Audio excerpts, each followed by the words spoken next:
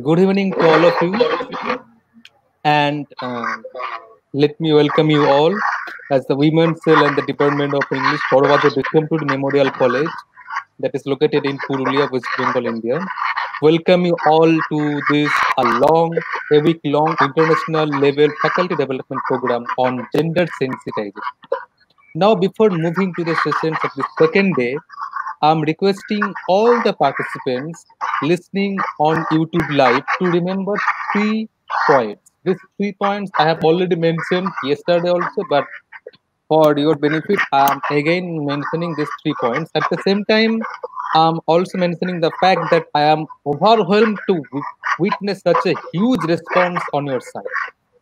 So kindly note that if you want to ask any question, to any speaker during this faculty development program, please send those questions to the WhatsApp number that I have already mentioned in the flyer, already mentioned in the Telegram group. Kindly don't post the questions in the YouTube chat box, else I won't be able to pick those out. So I'm requesting you all to send those questions to that particularly mentioned WhatsApp number.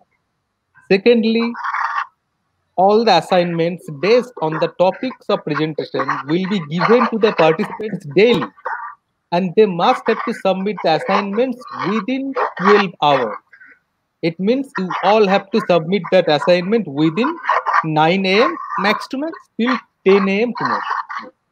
And after that, I won't be able to entertain any of the individual requests also e-certificates will only be awarded to those participants who will submit assignments every day and complete all necessary formalities.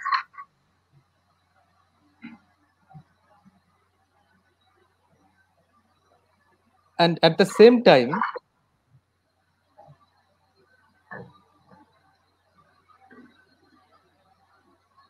I hope that you all have enjoyed yesterday's sessions and I'm sure that today also we all will be enriched and also will get to know the picture of South Asia and especially our neighboring countries. That is Pakistan and Bangladesh. And the, the picture of, uh, and so today we have with us three eminent speakers. And they are Dr. Dhishna Pannikar, is from NIT Karnataka, India. Then we have with us Professor Nazmunnessa Mahtab, and she is from University of Dhaka, Bangladesh. And then we have with us Dr. Rubeena Zakar, and she is from University of Punjab, Pakistan. So these three speakers from three different Southeastern regions prove that we, the academicians, don't believe in any kind of border narrative and partition among us. And we are happy to collaborate academically for our collective betterment, for giving more strength to our academic fraternity, and for raising our voice whenever it's needed. And I am thankful to them for proving me right that we are here for each other and education can broaden our mentality and thinking capacity. And I believe that education is more than just learning how to read and write, but it can also help us to grow personally, professionally, and socially. It also helps us become better versions of ourselves and it broadens our perspective to help us learn about different societies and cultures and today also we'll get to this kind of glimpses from these three speakers from three different regions. Now let us meet the first speaker with us on this second day.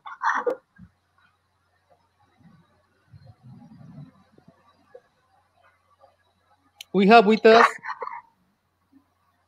Dr. Dhishna Pannikar, who is an associate professor in English in the School of Management, National Institute of Technology, Karnataka. She is in the academic field since 2010. She is specialized in travel writing, cultural studies, gender studies, and comparative literature. She has done her MA, MPhil, and PhD from Pondicherry Central University and has won the gold medal for the best hmm, Memorious PhD in 2010. She has won the Venus International Foundation Award of Young Women in Language Studies for the contribution and achievement in the field of English language in 2017. She has widely traveled to countries including Sri Lanka, Malaysia, Indonesia for giving talks in conferences and presenting papers. She has guiding six research scholars in the field of gender studies and cultural studies and she is a member of professional bodies including Indian Association for Women's Studies, ASLE India, International Economics Development Research Center, and Indian Association for Commonwealth Literature and Language Studies, that I collect. She had been a resource person in many national and international conferences in India and abroad. And she has published a book on outcome-based education towards a pedagogic shift in 2016. She has published in various national and international journals, including Scopus publications. And today, she is going to share her, her observations and ideas on conceptualizing gender studies and critical awareness in literature.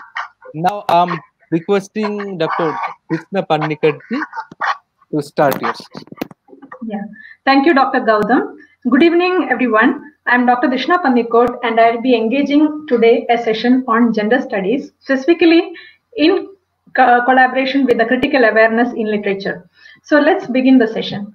So gender studies is an area which has close connections with literature.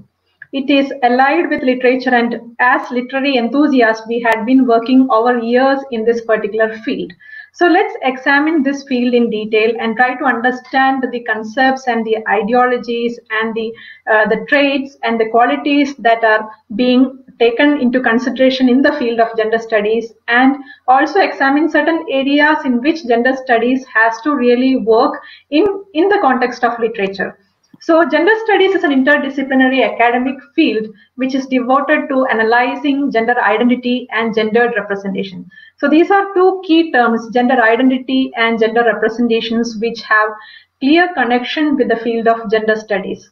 Uh, so uh, the allied areas which come under this large term of gender studies include women's studies, men's studies, and LGBT+.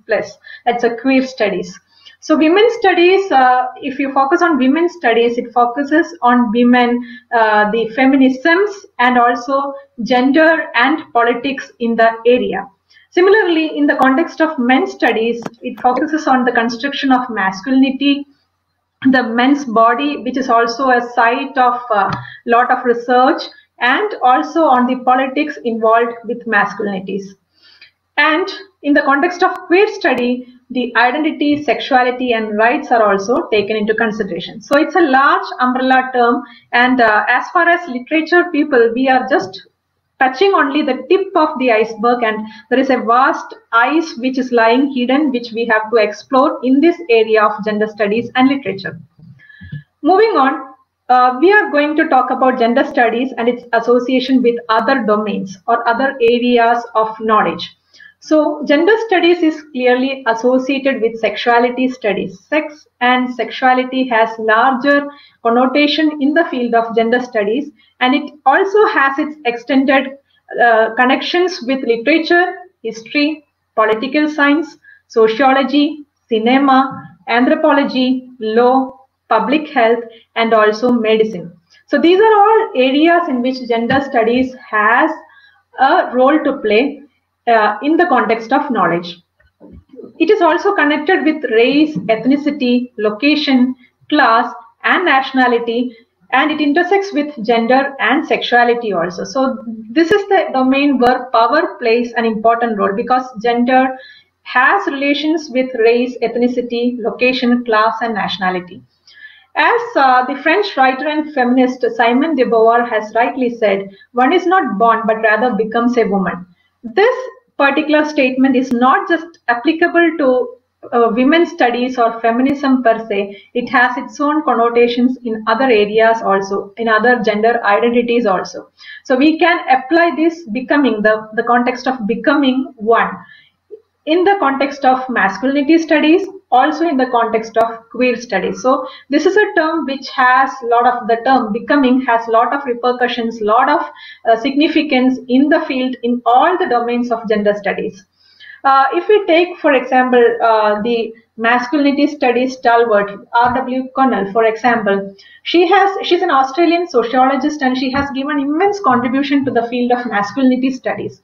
So if we refer to Connell's ideas on masculinity, we can see that gender refers to the social and cultural construction of masculinity and femininity and not to the state of being male and female in its entirety. So here also if you see this uh, the observation by this sociologist, you can see that there is no entirety. There is, it's not completely clustered because it's an area which is worth exploring further. So we can see that gender studies has larger scope in the context of literary studies also because a larger area is yet remaining to be explored. Moving on, uh, we can see the uh, relevance of gender studies uh, we can see that gender is pertinent to many disciplines. I have already listed some of the areas in the earlier slides. It is connected with literary theory as uh, uh, people as uh, uh, people who work on literature per se. We have a lot to do with literary theory, and we had been using a lot of theories in the context of understanding gender and literature. So it has larger connection with literary theory it is also connected with theater and drama studies also. So gender studies has a great role to play with drama studies. And it has also its connection with film theory because you can see a lot of uh, films are also researched upon and we are trying to understand gendered identities through understanding of films and movies. So we can see that it is closely connected with film theories also. And it has also its relevance in contemporary art theories also and similarly, it has to do with anthropology, sociology, cultural studies, and psychology.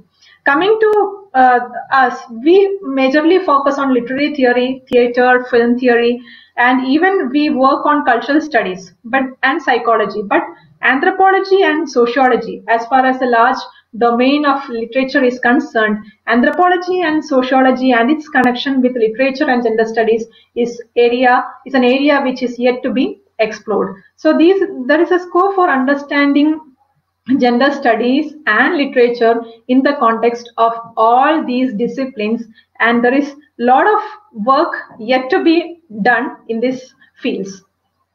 Moving on, we are focusing on the construction of gender. So we can say that women's liberation movement has a major role in the development of gender studies as an area.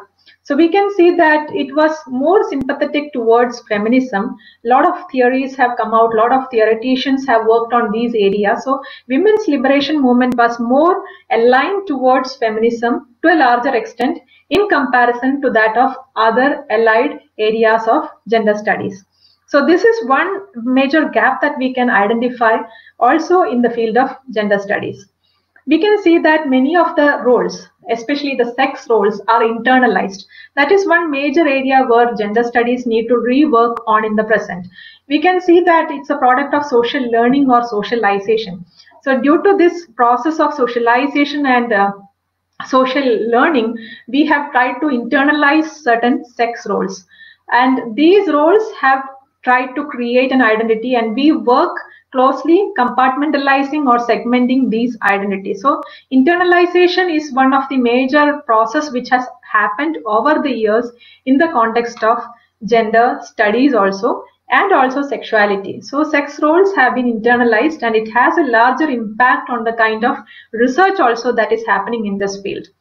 And roles, uh, we have to examine roles in details now because roles are based on expectations or norms in social life. So coming to gender studies and literature also, we can see that literature also depicts uh, the reality, the social reality. So we can see that it has uh, more to do with uh, the real life, the society and the culture. So roles are also certain uh, based on certain expectations that every culture has. Uh, on the social life. So now these roles need to be made more complementary. That is one area where gender studies has to work on in the present because uh, there is a lot of binaries which work and there is a lot of segregation that has happened based on which we are trying to segment studies and we are trying to limit gender studies only to specific domains. So these roles need to be made more complementary so that we can have more uh, elaborate studies in this area. Uh, roles in social situation, if we take the metaphor of dramaturgy, we can see that uh, there, there is a well-defined script to perform. So there is a performance involved as far as roles are concerned. In real life scenario, in a social setup also, we can see that mostly any gender identity that we have, we try to perform it. We are here using the metaphor of drama, but in real life also this performance happens whether it's a masculine or a feminine or any kind of roles that we take up this is all performative in nature and we can also see that there is a clear audience to perform and this clear audience in the context of real life is the society so our performance is uh, uh, understood and analyzed by the society and we are also given an identity. The identity is constructed by the society based on the performance that we give. So, as as seen in dramaturgy and also in real life, there is an element of performance and there is an element of judgment which is happening. And literature also has these elements of performance. If you see literary characters also, they are set in a different cultural context. And there is an element of performance which is happening in that given context of a text. So everywhere you can see that there is this element of performativity which is underlying in any gender identity. And we can see that the stakes are too high, the risk elements are too high. If we perform in a different manner, based on that, the assessment and the judgment also varies. So these roles are highly performative in nature and uh, we can also relate it with the theories of Judith Butler also in this context. So construction of gender is through these roles that we perform in the day-to-day -day life. Moving on, uh, in modern European and American culture, if you see, uh, for example, masculinity, it does not exist except in contrast with femininity. If you if you check the critical studies which are done in the context of gender studies, we can see that masculinity and femininity are seen as binaries. So definitely there is an element of comparison which happens across cultures also. And gender identities uh, are mostly rooted in a specific culture and it is given a kind of uh, performative nature based on the culture in which it is rooted. So we can see that here there is uh, in the European and American culture we can say that there is an element of uh, you know correlation between binaries and the studies focus mostly based on these binaries. The term masculine and feminine are uh, at this point uh, a matter of uh, understanding and concern. So it points on the categorical sex differences. So categorization, as I have already told, it's all happening in gender studies and these categorical differences of sex has given or has framed these identities. Gender is a way in which social practices are also ordered. In day-to-day -day life, the practices that we see, even uh, in, in, in literature also for that matter, all these things are arranged based on the gender, which is being performed. And everyday conduct of life is also organized in relation to reproductive arena. So we have, uh, when we associate gender identity in a particular culture, we try to see the reproductive arena also, which is uh, constantly related with these gender identities. So we can see that there is uh, two constructions which are clearly visible. One is a normative and the other one is deviant.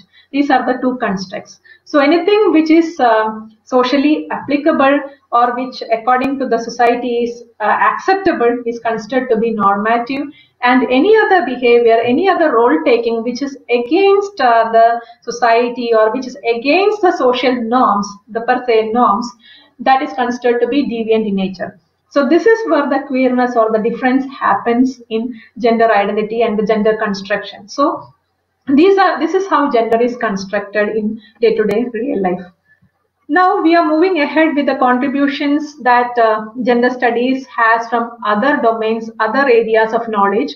Which includes that of uh, medicine, that of criminology and sociology also. And also it has relations with cultural studies and anthropology. So these are all allied areas in which gender studies has been working on. And literature, uh, in literature also we need to have some kind of connection between interdisciplinary studies so that we can understand gender studies in more detail. So uh, we can see uh, Mary Douglas, Peter Berger, Robert Wuthnow, Jürgen Habermas, and Michel Foucault. All these are the contributors who have contributed to anthropology, sociology, and cultural studies in the context of understanding gender. Uh, here uh, it is very relevant to talk about uh, Foucault's power knowledge, which really has an important uh, uh, contribution towards understanding of gender. So we can see that uh, uh, there is a social control which is formed. There is a new set of uh, social control which is uh, which is evidently seen from Foucault's narratives, where he talks about uh, clinics and prison, factories, and psychotherapy, which is also seen as a mode of controlling of the society. So power knowledge is another factor which has given uh, the identity for different genders. And gender is done or accomplished in everyday practices that creates a common sense knowledge and meaning of society, as could be evidently seen from ethnomethodology. So ethnomethodology is also another domain in which gender studies has a larger role to play, which is also closely connected. And these practices enables the construction of the gendered knowledge. So the knowledge that we have about gender and sexuality and sex per se, it is all based on these practices, this performance and this role taking which is clearly seen in the present. But uh, there are certain gaps as far as literature is concerned. There are certain areas which are not addressed or redressed thoroughly in the present. So we have to understand these areas and we have to work more in these areas.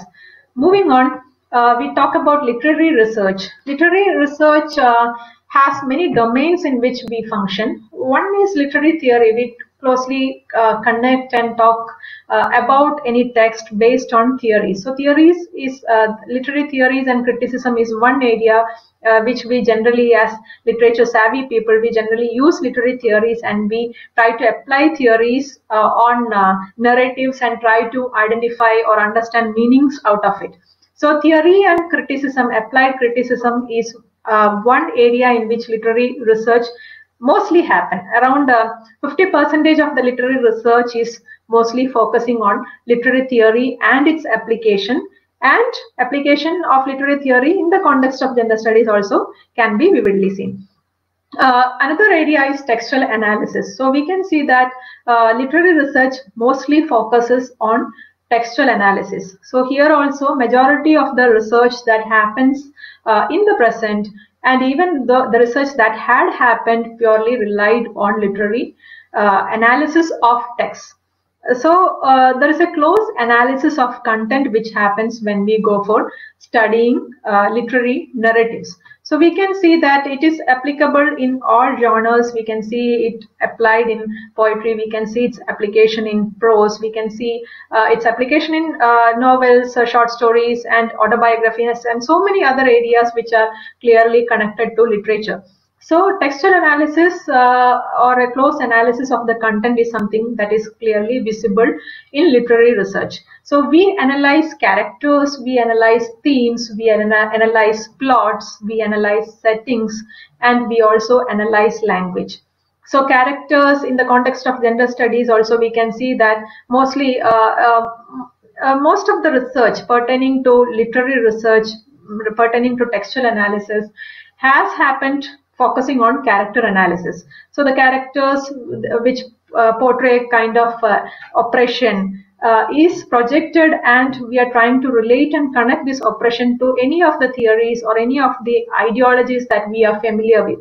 So character analysis is one of the crux areas in which literature and literary theory works on. And we also analyze themes and concerns of a work and uh, also the plot in which uh, this work is set and the settings and the language which is used in the work so that we understand uh, the text in a far better manner. So all these elements are juxtaposed uh, with understanding of gender and uh, gender gendered identities so this is how literary research mostly focus on in the context of textual analysis next is uh, discourse analysis. So uh, language in its raw form. We try to study language in its raw form through discourse analysis.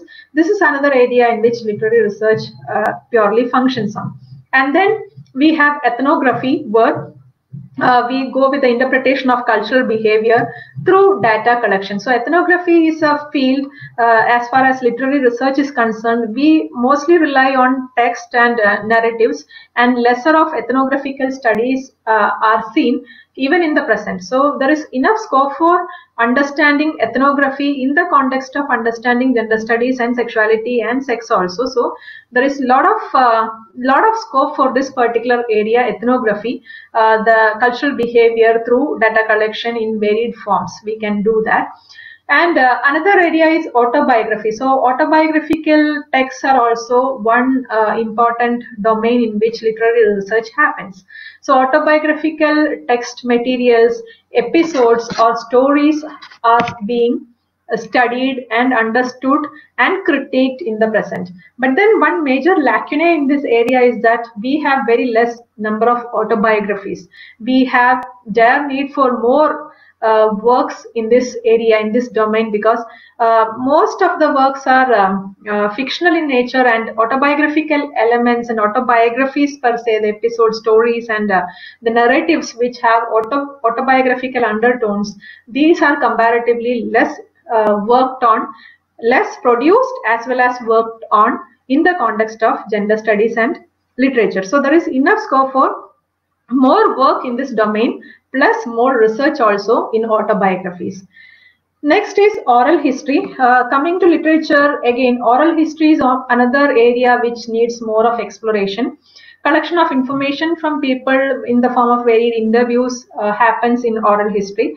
So literary literature, oral, there is a lot of scope for understanding oral literatures and oral history also. And uh, its application, its uh, relevance in the field of gender studies also has to be worked on. So mostly there is scope for understanding literature from the perspective of ethnography, uh, from the angle of autobiography and also from oral history in the context of gender studies. Uh, textual analysis is something which a lot of work has happened in the present and there is enough scope for studying more text and more works also, uh, which we acknowledge. But other than that, there are there is a lot of uh, gap which is seen in literature in the context of these domains which I have already listed. Now uh, we are uh, going to understand uh, the objectives for gender studies and research in literature. Uh, what are the areas? What are what what are the major concerns that we have in this domain? So uh, our understanding of gender and sex that is one major uh, area in which uh, we have to really work on because as i have already told you there is a lot of segmenting there is a lot of compartmentalization which has happened in these domains. Uh, we try to um, differentiate gender and sex and try to see it from uh, two different perspectives. Say, uh, sex, uh, we see it only from the biological perspective and uh, gender from the social construct. And most of the literary research happens in the domain of understanding gender, especially from the cultural and social construct and not from the biological perspective of sex. So there is a lot of scope for understanding sex and sexuality in literature, which is a gray area as far as current literary research is conducted. And uh, there are a few queries which come in this uh, context also. Is the perception of sex a problem in gender politics? So, uh, perceptions of sex, uh, the ideas that we have about sex and sex roles, is this is this having a larger role to play in the gender politics? That is number one question that we have to uh, ask and redress through the research which has to happen in the present. And is it institutional arrangements that produce inequality in gender identity? So is it something like the institutional arrangements? We are trying to institutionalize gender and sex and is this arrangement that produce inequality in gender identity so we have to uh, we have to touch on these gray areas which are slightly disturbing areas also and we have to try to bring in uh, some kind of relational connection between gender and sex rather than seeing it as two different entities altogether. Moving on, uh, we will have some discussion on women's studies, masculinity studies, and also on queer studies in the upcoming segments. Uh, starting off with women's studies. Uh, Sam Killermann's concept of gender is something which is worth examining in this uh, in this context. Uh, Sam Killermann talks about uh, gendered categories, which is very relevant in the present, in the way in which we perceive gender. Uh, we perceive gender based on three different categories. These categories are gender identity, gender expression, and biological sex. If you go to literature, literary research basically focuses on the first two areas. One is gender identity, and the other one, which is gender expression.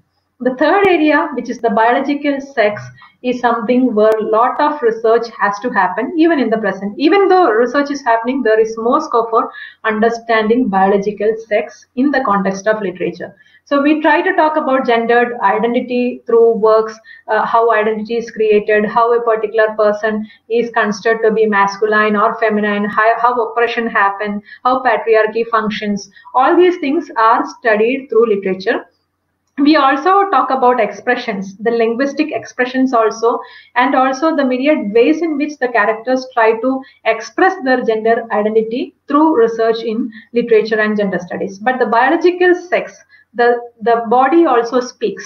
And this particular area the uh, the uh, the roles uh, which uh, the the sex roles that we have as individuals in society and the body has to be dissected and has to be studied in the current uh, understanding of literature and gender studies so this biological sex is one category one gendered area which has to be further studied and examined in the context of research in gender studies and literature. Now, uh, coming to women's studies, again, is uh, devoted to topics concerning to women, gender, feminism, and politics. So these are some domains in which women's studies mostly work on. It focuses on women. It focuses on different uh, uh gender issues that uh, women have, and it also focuses on the different feminisms the liberal feminism radical feminism black feminism and so many other feminisms uh, environmental feminism everything is being discussed through women's studies and also the politics involved. So these are major concerns of women's studies and mostly we focus on suffrage movements and also on, on social history. And uh, most of us have worked a lot in these areas uh, on social history understanding the history and women's suffrage and we have also worked on women's fiction. There are a lot of works which have come up over the years, over the centuries. We have come up with a lot of works which have a lot to do with women's rights and women's movements. So women's fiction is also something which has been overly studied and explored, but it doesn't uh, limit the purview of understanding women studies because there is a lot more to talk about, a lot more to discuss also in the context of women and fiction also. Uh, but then coming to the uh, domain of women's health, medicine and literature. This is one area where lesser studies have happened. So there is more scope for understanding medicine and literature uh, understanding the female body from the perspective from the medical perspective. That is something where literature can have interdisciplinary studies. So connecting medicine and literature with gender studies Similarly, women and psychology, if you see uh, women and psychology, uh, we generally try to use uh, overly used theories and theoreticians like uh, uh, uh, Sigmund Freud, Lacan, and Jung. These are the proponents, these are the theoreticians which over which most of our theories has been worked on. But now I am trying to tell you that there is much scope for understanding women's psychology uh, for from DSM-5. So I'm not really sure how many uh, literature enthusiasts will be working on DSM-5 also. DSM-5, for those who don't know DSM-5, is a diagnostic and statistical manual of mental disorders. This is a fifth edition of that, which is uh, by APA. So DSM-5 is one uh, important uh, work uh, which can be uh, taken into consideration when we study women and psychology. Because uh, when we see, uh, for example, if we take a character in a particular novel for that matter, say for example Doris Lessing's character Anna in The Golden Notebook, if you take this character for, for that matter, you can see that uh, there is a particular instance where uh, this character is trying to fix uh, cut newspaper cuttings and trying to fix it uh, on the walls. And the whole walls once it is filled it, it is removed and again again she does the same process of cutting and fixing it up. So if you see this particular this particular character and this particular problem at hand, we can see that if we if we ex examine DSM-5, we can see that there is something called obsessive compulsive disorder, which is a medical term, which is a psychological term, which has larger uh, meanings involved. So if you see that, we can see that there is scope for understanding psychology from a larger perspective of the disorder, which is obsessive compulsive disorder. So trying to connect literature with medicine, with psychology has larger uh, impact in the present. So we should try to relate most of our studies to other interdisciplinary domains so that we can explore these gender identities in a more clearer manner. So there is more scope for understanding uh, characters and works based on the contemporary psychological studies and health uh, whatever literatures are available, the journals and reviews are available, uh, the medicine and literature also has larger scope for studies in the present. So uh, we we generally work on prominent uh, women, uh, the feminist writers, including Virginia Woolf, Mary Wollstonecraft, Simone de Beauvoir, Firestone, Betty Friedan, Jane Austen, Bronte sisters, Emily Dickinson, Sylvia Plath, Morrison, Margaret Atwood, Lahiri, Doris Lessing, Adichie, Mahasweta Devi, Arundhati Roy, Chitra Banerjee, Divakaruni, Anita Desai, Shashi Deshpande, to list a few of the writers and the critics who have worked in this area. It's a vast ocean. So feminism and women's studies have have established itself and um, we have also have we also have a lot of works which have come up in these areas. Uh, but what is the challenge that we face? What are the challenges in literature that we face in the present the major challenge is universalizing the women's suffering so we are trying to universalize women's suffering. Say if you take any work, a work uh, by Virginia Woolf or you take a work by Jhumpa Lahiri, we are trying to universalize the suffering. We are trying to connect everything and conclude or uh, put it in our findings saying that there is a suffering involved or there is a problem involved uh, definitely there is a problem involved we don't uh, we don't say that we don't we are not trying to say that there is no problem involved but then we are trying to universalize the women's suffering and this is one area where we have to really rethink over because the, these problems that women have uh, in the context of women's studies cannot be universalized. There is scope for understanding it from different perspective. We will examine that a little later. And there is a need for more expressiveness of female body and sexuality. So female body uh, coming to different cultures, there is taboo still involved in understanding or even in decoding uh, the uh, the female body which is being mentioned or which is being depicted through literature. So there is there is a need for more expressiveness there is a need for expressing the body and there is a need for expressing sexuality also which which i feel uh, is limited in the context of literary depictions as well as in the context of literary research so this is one major challenge that we have even in the in the works that we take for our research also if we go with textual analysis we can see that expressiveness of the body or expressiveness of sexuality is limited because of varied reasons. There are so many reasons. There is politics involved in that. Uh, the, the, there is uh, problems related to the crisis, the identity crisis also. There are so many elements which are, which refrain ourselves from expressing the body and the sexuality. So there is need for this is one major challenge that we face as literature, uh, as researchers in the field of literature. Uh, this is limited. So this is one more area where we have to focus on and there is a need for more interdisciplinary studies.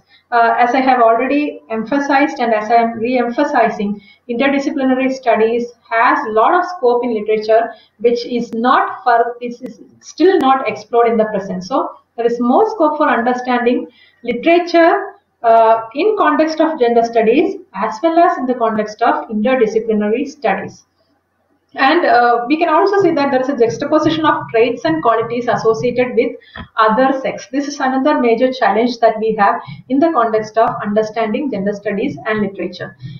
Moving on, uh, we are moving to the next segment, which is masculinity study. Uh, we are trying to see masculinity studies from the perspective of uh, uh, the quotes by Margaret Atwood.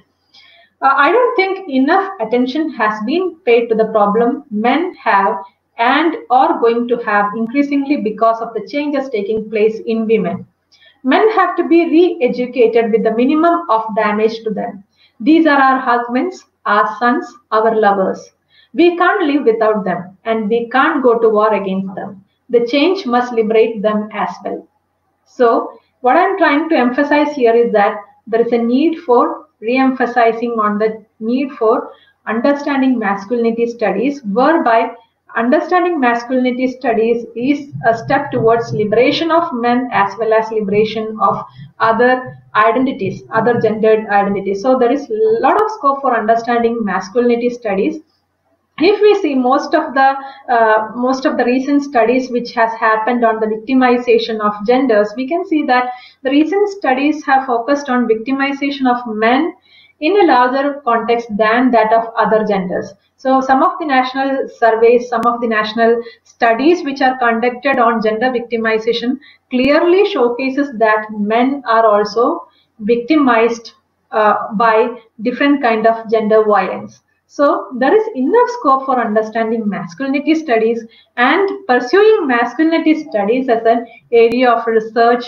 in literature, which uh, I feel has been uh, put on the uh, purview on the sides, on the margins, uh, because of the uh, establishment of other gendered identities and other gender rights. So masculinity studies is one more area where uh, there is a lot of scope for understanding and research. Let's examine masculinity studies in detail. Masculinity studies focuses on men's studies. It focuses on the topics concerning men, gender, and politics. So, uh, uh, men are the center in the context of masculinity studies, uh, and the politics involved in the construction of masculinity is also something which is being studied in the purview of masculinity studies. And masculinity studies is, cannot be considered as a domain which does not have any connection with other streams, never. Because masculinity studies has also is also aligned and connected with other areas in the field of gender studies. It has clear connections with women's studies, it has clear connections with queer studies, so there are connections uh, there are intertwined connections which uh, could be seen in the context of masculinity studies. And there is a politics involved in masculinity studies as well. So feminist theory we cannot forego feminist theories when we talk about masculinity. And also other gender theories in the context of understanding masculinity because as i have already told you there is always a binary which is existing. So uh, we can uh, we can say self and the other the terms which sociologists and anthropologists use. So we can study the other only in relation with the self. So there is a clear connection between masculinity studies and feminist studies and the studies on queer and other sexual identities. So all these areas all these domains are closely connected this has also connections with men's history. Uh, there is a evolution, there is history, there is a social construction which has happened over years, uh, which has been carried forward even in the present. So the history, retracing men's history, uh, retracing the men's identity and the construction of identity which has connections in history has to be explored in the present. So men's history is another area which, ha which has a lot of uh, relevance in the understanding of literature. Even social history also connecting mm, uh, men and society and the construction, how masculinity, how the construction of masculinity has happened over the years, over the centuries. That also has a lot of connection, a lot of relevance in masculinity studies. Similarly is the case with men's fiction. We have a lot of works uh, written by male authors uh, which have uh, uh central male characters as well as central female characters. But then uh, men's fiction also has to be seen from the perspective of understanding masculinity. So there is a scope for studying uh, re rereading of fiction, rereading of non-fiction from the perspective of understanding literature and masculinity studies. Similarly, uh, men's health. This is another area in which a uh, lot of uh, scope is there for understanding studies uh, on literature and uh, masculinity. So, men's health uh, is worth research, worth understanding, and how the construction of the male body, the construction of male body, the social construction of the male body functions. This is also one area in which uh, we have uh, much scope for exploration in the present. So men's health and the construction of uh, male body is one area in which masculinity study largely relies on uh, where there is a lot of scope for studying in the context of literature also and men's psychology, men's thoughts and behaviors.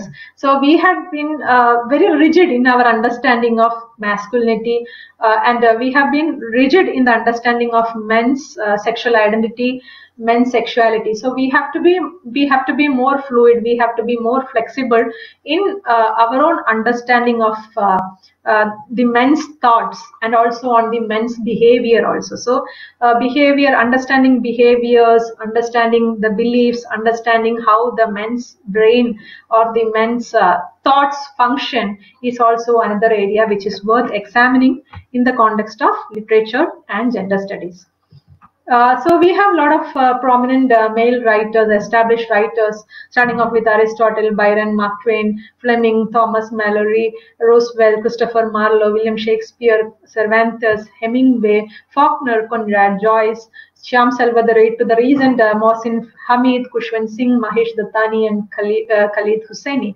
So we have a lot of uh, writers across continents who have worked, who have brought out a lot of literature which we have already explored. But then, as I have already told, there is a scope for understanding all these works, reworking and uh, uh, re, uh, researching these areas of masculinities in the context of literature. So there is immense scope for understanding uh, literature from uh, all these literatures, reworking on all these literatures in the context of masculinity studies masculinities if you focus on masculinities it has uh, uh, shaped into the form of a particular area or a research domain.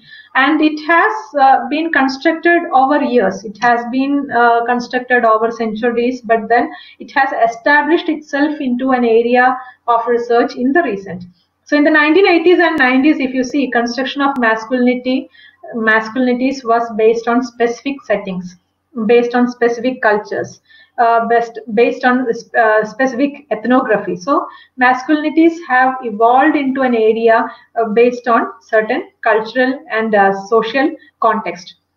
You can uh, see that uh, if you observe the historical accounts, you can also see that there is a change of masculinities. Masculinity is not a a fixed identity. Masculinity cannot be considered as a fixed identity. It, it, can be considered as an identity which has been as I have already told you, which has evolved over the years, evolved over the centuries, and uh, definitely historical accounts also connect us in the understanding of these changes that has happened in masculinities. So like feminisms that we study masculinities also has uh, evolved over the years and it has um, it is becoming a firmer domain for study in the present and uh, there is a move beyond abstract sex role framework also. Earlier we were we had very abstract uh, sex roles. We had very rigid frameworks on which roles gendered roles were structured. So now uh, in the present we can see that there is a move beyond these abstract roles and we we are going out of these frameworks. We do, we no no more stick into this framework of understanding gender identity and we have to see it from a more uh, larger framework and we have to go beyond these abstractions we can see that this change has happened over the years and there is change in masculinities in US, Australia, Britain, Japan, New Zealand, South Africa, Latin America, France, Germany, Middle East, Brazil. So uh, over the continents, over countries, there is change which has happened and all this change is specific to the culture we can try to relate, relate the change that has happened in a different uh, continent to maybe India for that matter, to Asia for that matter. But then these are all different variations. These are all shades of masculinities.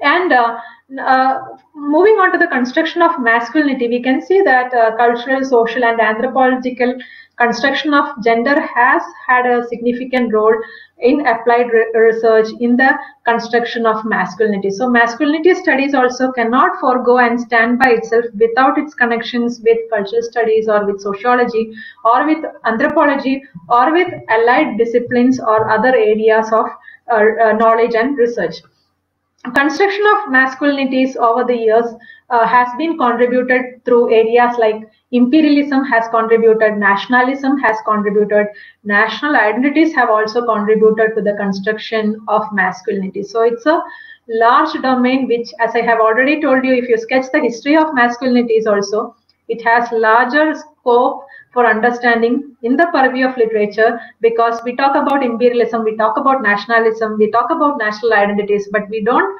connect this with the development of masculinity, with the development of the male over the years. So this is one area where there is a lot of scope for understanding uh, construction of masculinity.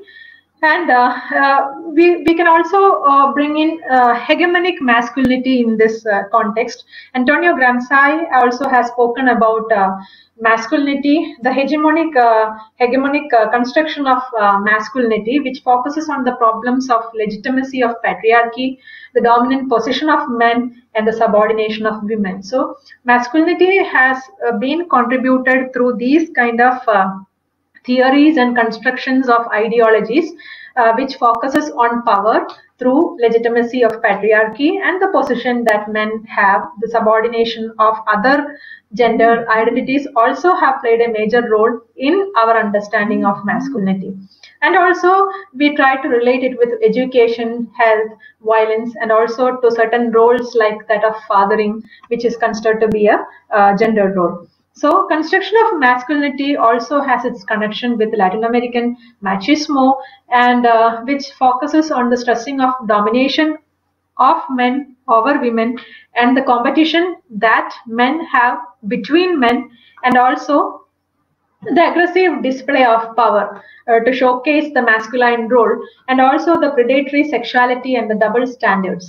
So these have constructed the idea that we have about masculinity. So these are all constructs. This is this uh, this is not the the reality. These are all constructed roles which has been constructed and carried forward over the years in order to shape the identity of the masculine.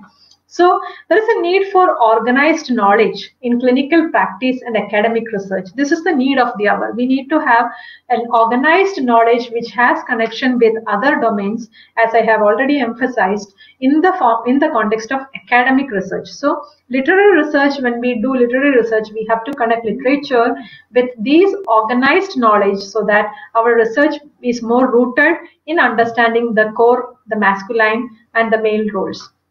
And uh, similarly, it has also contributed to gay liberation and homophobia in countries uh, like, for example, US also. Uh, it has given space for further movements in the in the same in the allied areas. So uh, this is about the construct of masculinity, and uh, there are certain gender identities which has been framed uh, through masculinity. The gender identity of being a real man or a natural man or deep masculinity for that matter. These are all constructs, uh, gendered identities which has been constructed based on the performance of certain roles over the years.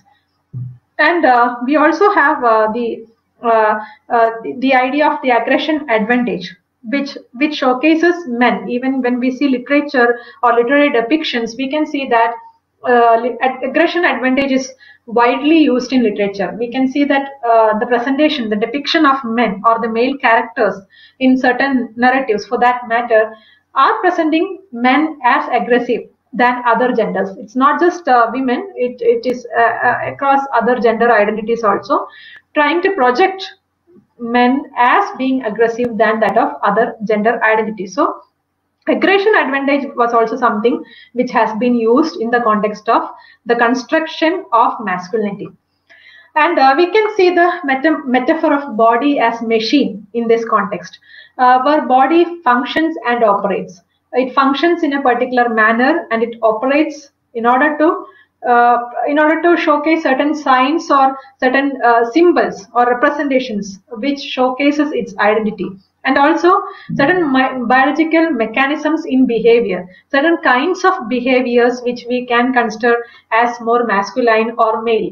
And uh, certain ways of uh, hardwiring. Say for example a machine. Similarly the brain is also hardwired to produce masculinity. So uh, the way of thinking, our thought process is also hardwired in such a way that we try to project a particular identity in a particular manner by associating all the attributes that they perform in a particular manner as equal to that gender identity. So brains are also hardwired in order to produce this gender identity and uh, again in the with the metaphor with the metaphor of the body as a machine we can see that men are uh, genetically programmed for aggression. So this is another uh, aggressive behavior which is programmed uh, in the form of a machine. Uh, in the in the metaphor of a machine we can see that this is also another genetically programmed behavior which we try to attribute to masculinity and also the dominance in our biogram also. The overall biogram also we can see that this metaphor of body as machine function. So masculinity as i have already told it's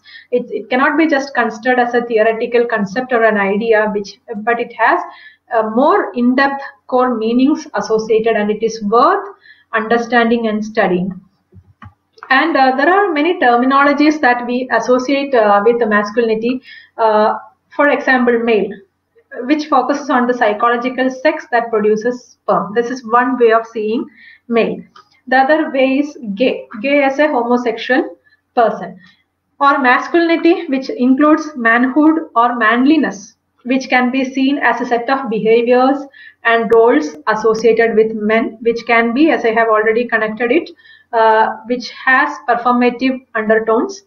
And but uh, a woman having qualities traditionally seen as masculine and also impotent which means incapable of sexual intercourse or an effeminate which means having feminine qualities which are untypical of men. So uh, here we can see effeminate. In the use of this particular idea this concept we can see that feminine qualities which are untypical of men. So men are supposed to behave or men are supposed to project certain roles which are considered to be typical of the male identity and anything that goes against this behavior anything which cannot be considered as a normative behavior anything which can be considered as a, a behavior which is against the norms or a or a deviant behavior for that matter is considered to be untypical of men. So this is how we are wired. We are hardwired in this manner so that every work that we see we see it uh, every literature that we perceive we perceive these literatures we do research we understand these works uh, mostly focusing on these uh, these behaviors. So this is these are the terminologies which have a lot of meanings in the context of masculinity. So now let's examine the new concerns in masculinity. What are our concerns so we need to focus on knowledge which is beyond science and common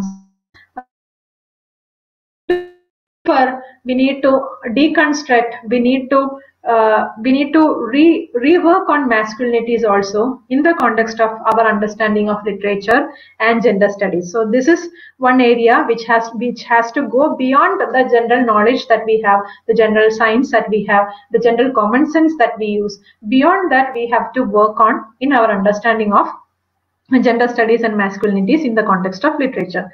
There is an intuitive knowledge of deep masculine also which uh, which which is a major concern in the present research on sex differences in bodies is one area which comes under this deep masculine and also the behavior brain sex and the hormonal differences the genetic codings which are connected with social practices.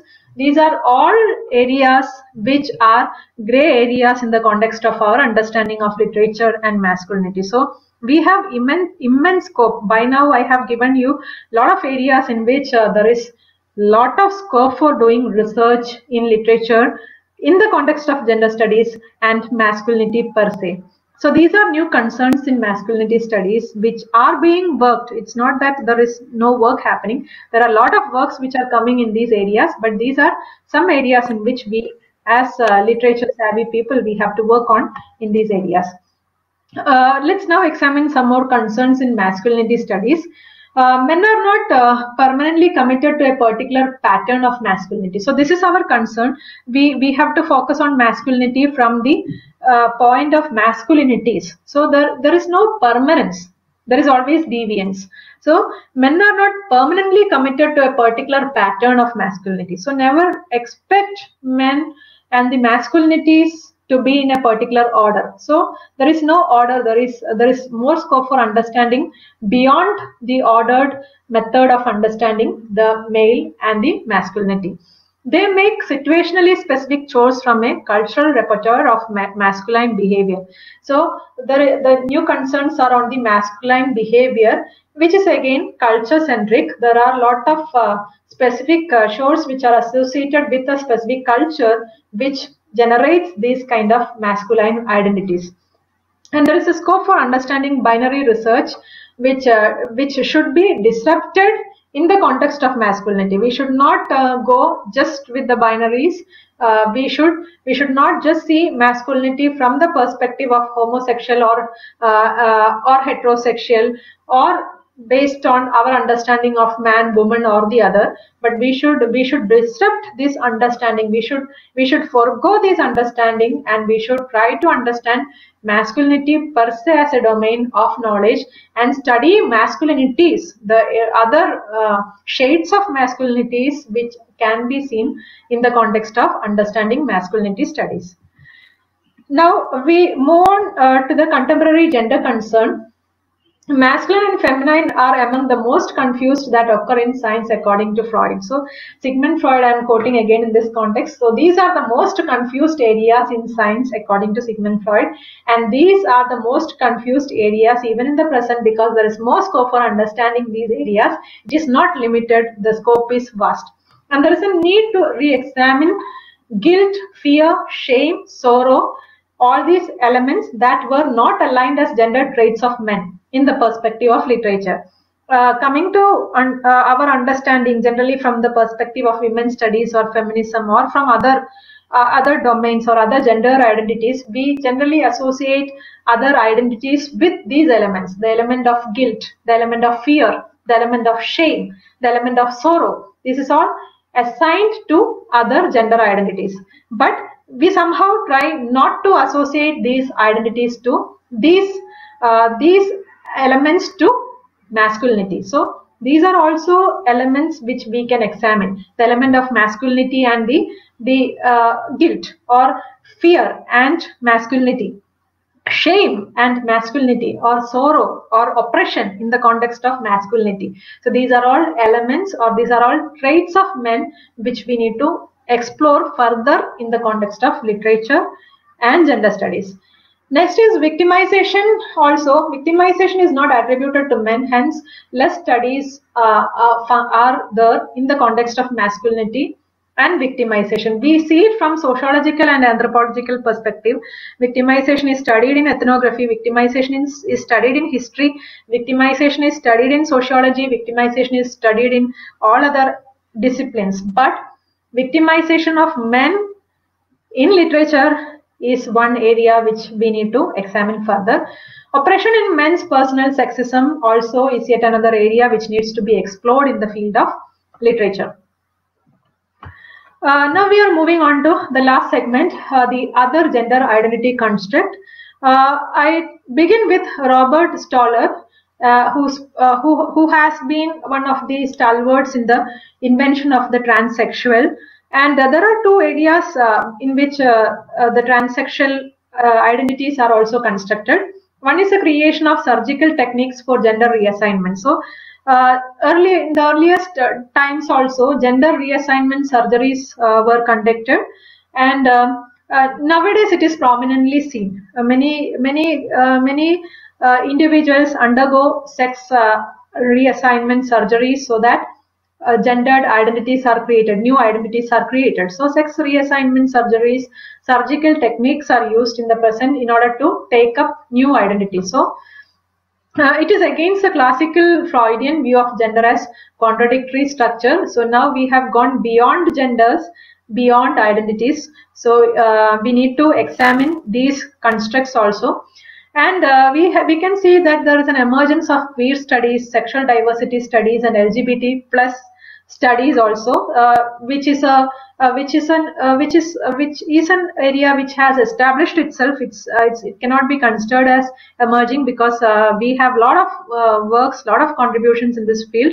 So this studies, the queer studies or the sexual diversity studies or LGBT studies have also established itself, and there is a new gender identity which is being constructed in the present, which is also debated and discussed in the context of literature.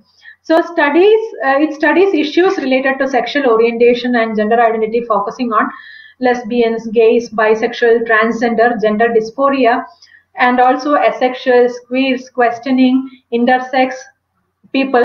Uh, I'm not. Uh, I'm not uh, trying to say that uh, it is limited to these areas. There are so many domains under which uh, queer studies function. There is sexual diversity. So there are so many sexed identities the gendered identities which are being constructed and these are some of the areas which i have listed for for the uh, for for this session but there are so many areas in which other gender identities are also constructed moving on to queer studies uh, we can see that in 16th century uh, there is a turn in gender ideology which has happened and which uh, through which there is a there is a movement towards establishing the rights and identities of this other uh, so uh, it critiques the traditional notions of gender and sex. So with this new ideologies, with these new beliefs, with these new thoughts, uh, there is a criticism which has stepped in from our traditional notions of gender and sex.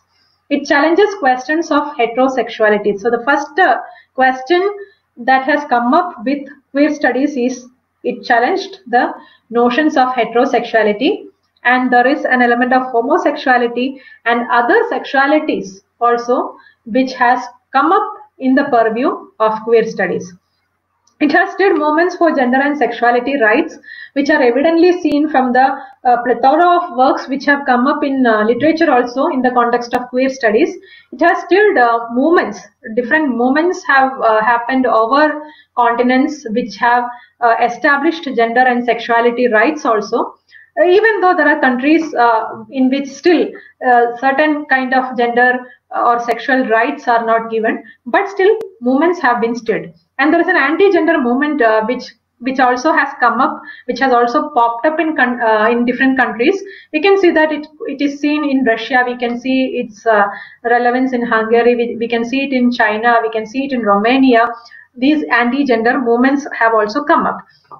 Uh, and uh, there is a queer theory which has emerged in the 1990s out of queer studies and women's studies. So generally, uh, when we talk about literature and gender studies, queer theories are something which we discuss in the present.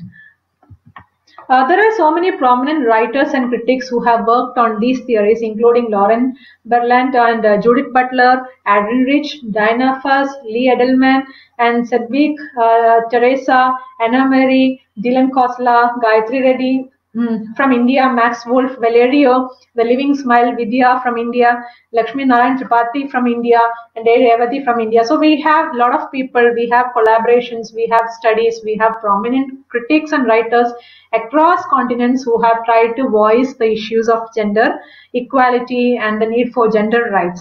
But then literature again has a lot of scope for understanding these gender identities and also for studying these gendered constructions. So now we will examine some central concerns that we have. The major concerns that we have in this context uh, includes uh, these uh, identities, the gay, the lesbian, the cross-dressing, the hermaphroditism, the gender ambiguity and gender corrective surgeries also. These are also all, these are all areas in which we need to have our concerns on. And uh, we need to also focus on uh, these major queries that include what causes homosexuality, what causes heterosexuality, why sexuality central in some people's perspective or in some culture's perspective uh, has to be focused on. One of the interesting contribution in this domain in the context of queer studies and uh, in the context of uh, LGBTQ studies is uh, the Mildred Berryman's uh, work, The Psychological Phenomena of the Homosexual, which is a very uh, breathtaking work which has a lot of which has uh, created a lot of uh, movements in the present. So this is one important work, uh, one important contribution in this uh, particular domain. And uh, now we examine the challenges involved in LGBTQ studies. Uh, the main challenge that we face not just in LGBTQ studies, but in all other sexualities is that sexuality itself is fluid in nature. So this is one major challenge. So even the uh, the other identities of the lesbians, gays, Sorry to interrupt you, uh, mm, but um, you need to wrap up because there are so many questions. There are so many questions, and they're requesting me to ask mm, all those questions. And already it has almost taken up uh, one hour. So please conclude the, your talk so that I can at least ask you two, three questions. Okay, okay. So uh, shall I uh, wrap up with the last uh, comments? Yes, yes. Yeah. So sexuality has uh, personal connotations, and there is a need for more literary depiction in the present. So now we will just examine the research gaps in literature and gender studies. Uh, the major gaps is that practices shape and limit gender construction. So this is one of the major gap that we can see in literary depictions. And there is a need, uh, there is a relevance of scientific findings in the present research. Uh, we have to connect uh, all these gendered identities to clinical knowledge which is acquired through therapies and theories. We need to connect it with social psychology and sex roles. And also there is a need for connecting it with anthropology, history and sociology. So now let's examine the current challenges in gender studies and literature.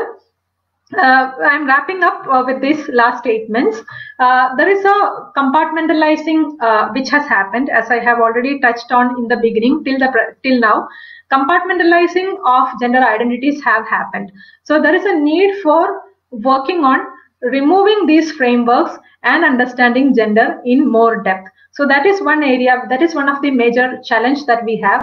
And there is a segregation of sexualities and forming formation of identities that are generally acceptable. So we have to go beyond these acceptable identities and we have to uh, and uh, these identity formations and we have to work against or work beyond these uh, these accepted norms or accepted identities and it should point to the way gender identities differ among themselves and other gendered identities. So this is uh, these are some of the current challenges that we have in literature. So with this, I am wrapping up uh, with my session. I hope uh, it uh, was useful for you in understanding gender studies and literature to a larger perspective. Thank you, Dr. Goutam. Um, now, um, wonderful presentation, and uh, yes, I have also felt to see that uh, that it's the seven o'clock is there, and only the time is over. That we are so so mesmerized with the talk, and so many questions are there. I am taking two, two three questions because already the second speaker is there, and um, please try to answer those, those um, within as short as possible. For you, I'm telling you that uh, within a, because time is not there so much. So Maybe you can you can post me the questions so that I can answer them uh, via mail if uh, anybody is interested to. yes, You know- will, uh, but let me ask you two three questions. That um, uh, Yes. can you please elaborate on something on anti-gender movements? Ha- have such movements occur in India? Something about anti-gender movement? anti-gender movements have happened uh, mostly in uh, um, mostly in US. US has a lot of uh, movements which have uh, come up in the context of gender, especially in the context of queer studies. A lot of movements have come up. Uh, the uh, movements uh, for uh, queer rights have come up in the present. A lot of movements are there.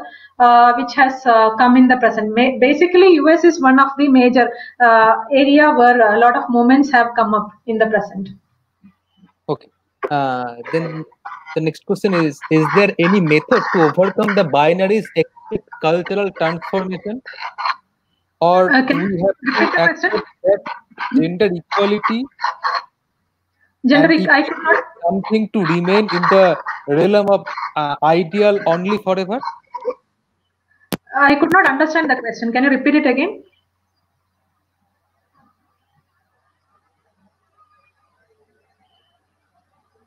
I could I could not get the question. Uh, Dr. Goutam, can you repeat the question again?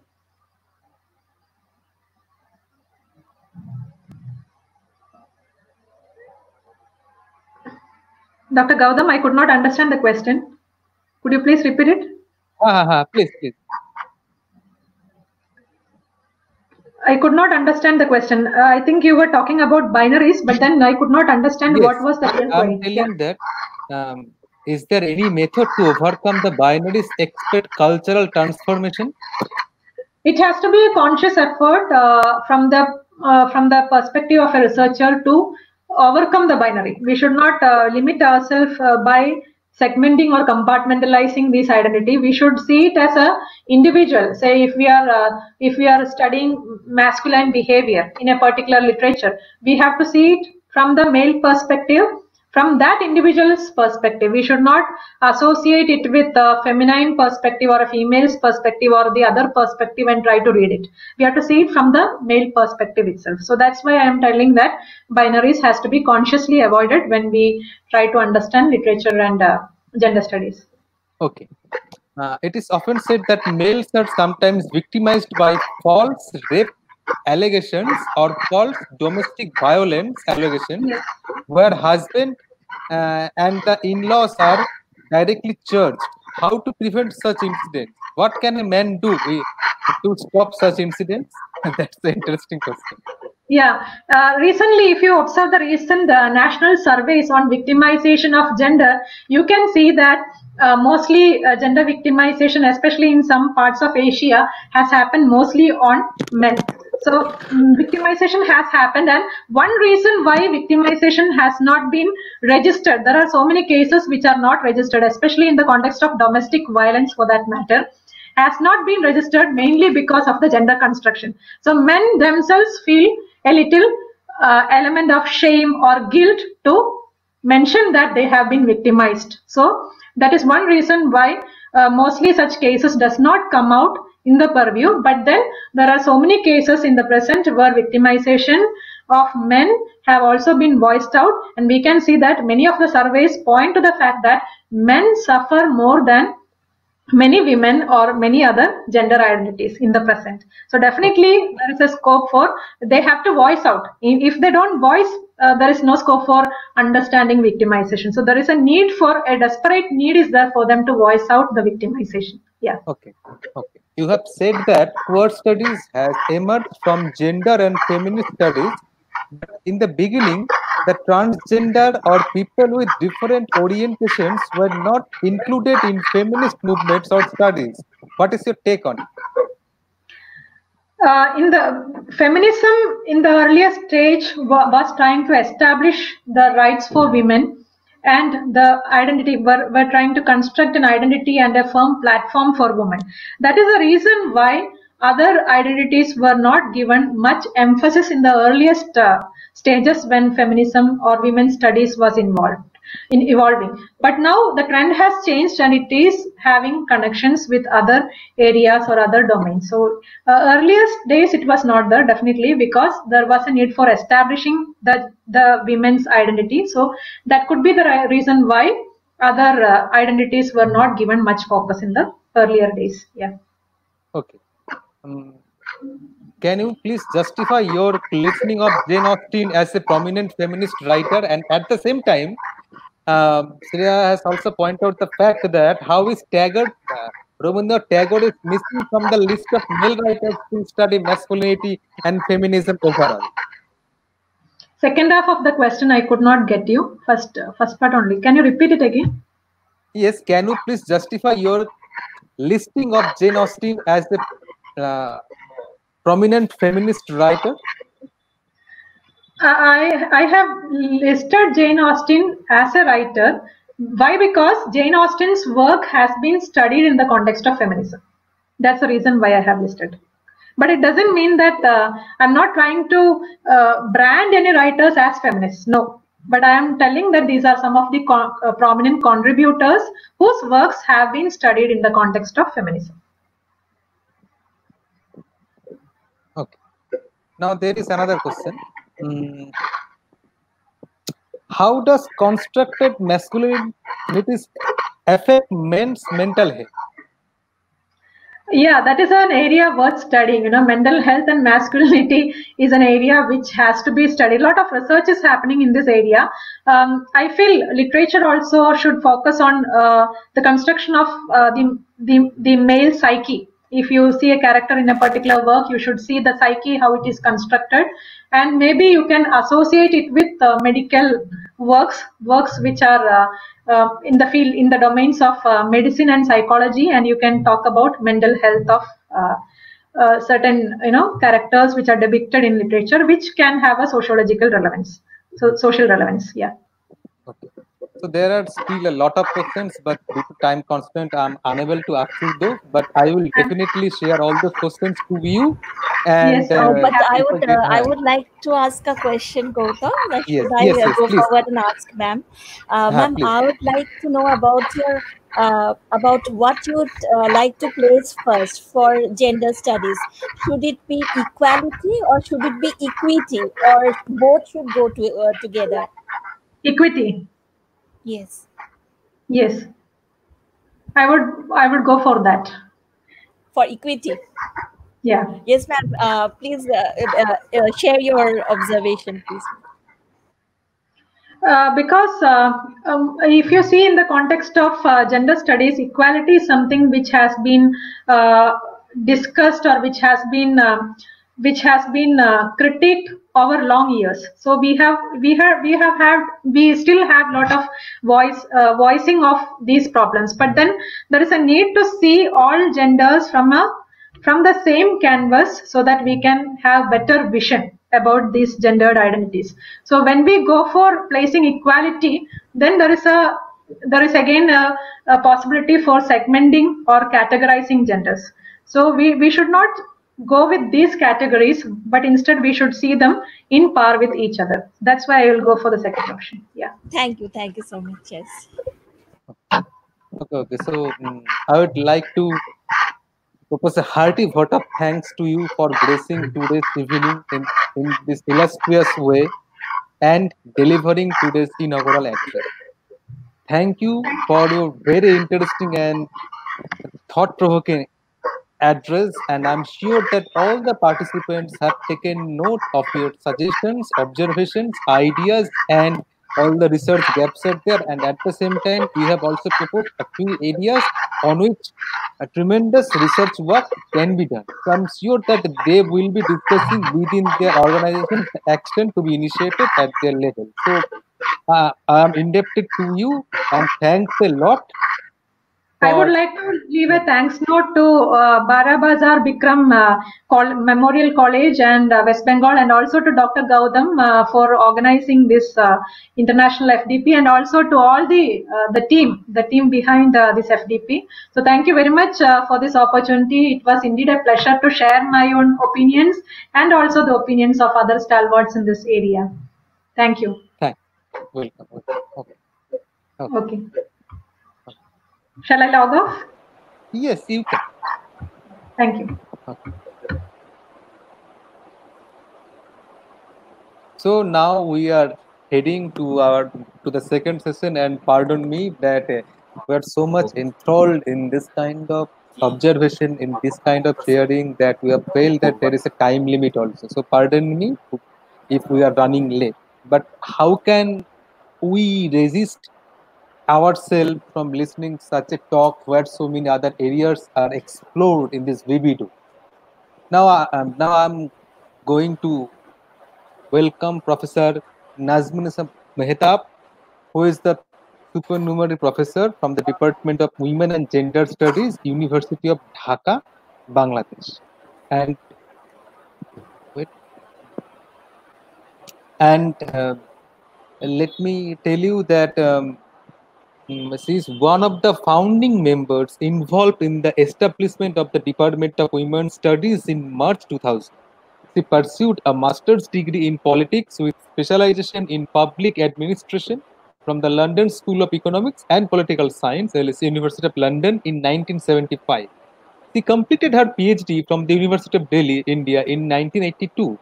She was a senior Fulbright scholar at George Washington University, Washington, D.C. in 1989 and worked on women in administration. Her areas of specialization include women and, and poverty, gender and development, violence against women, CEDAW and women's rights, gender and governance, women in public policy and leadership, gender equality, and empowerment of women. We are really grateful to have you in this platform. And, ma'am, now I am welcoming you and I am requesting you to start your talk. The stage is all yours. Uh, thank you very much. Uh, for, before I uh, start my formal presentation, I want to speak a few words. I, you can take this from my time also. I feel proud and privileged to attend the 7-day international level online faculty development program on gender sensitization organized by the Women's Cell and Department of English, Barabazar Bikram Tudu Memorial College, Purulia, West Bengal, India. Congratulations, my and sincere thanks to the organizing committee, Dr. Chandrakanta Pandey, teacher and chair and chief patron, BBTM College, Sri Puba Mahalan Visa, convener and Department of English, BBTM College, Dr. Goutam Karmakar, the convener and organization secretary, Department of English, BBTM College. I would like to acknowledge first my, Dr. Bushra Sultana from my department, my ex-student and colleague now, because she was the first one to give me the information about this program. And indeed, in this aspect, I would like to offer my sincere gratitude and thanks to Dr. Goutam for inviting, inviting me to this program and be in constant and continuous contact with me. Regarding my presentation, I would like to acknowledge the assistance I received from my student, my, one of my students, Noshin Faria, in the third semester, and my youngest son, Naim Atab, who senior lecturer at Independent University, to help me with all the minor computer details of getting connected to the link. It was a very difficult task for me, Dr. Goutam. So now I start, okay. start my, my presentation is divided into two parts. It is the name is gender inequalities in Bangladesh, impact on impact of COVID-19 pandemic. So first I uh, define gender equality according to me. It has been given in my book. It refers to the disparities between women and men in society in terms of the visibility in social, economic and political spheres and shares in decision making at the levels of society. Although half of the world's population consists of women, they don't have the same benefit and growth as men. I give the certain statistics given by UN in the 90s, but still, this statistic is still valid today. Women to show indicate inequality.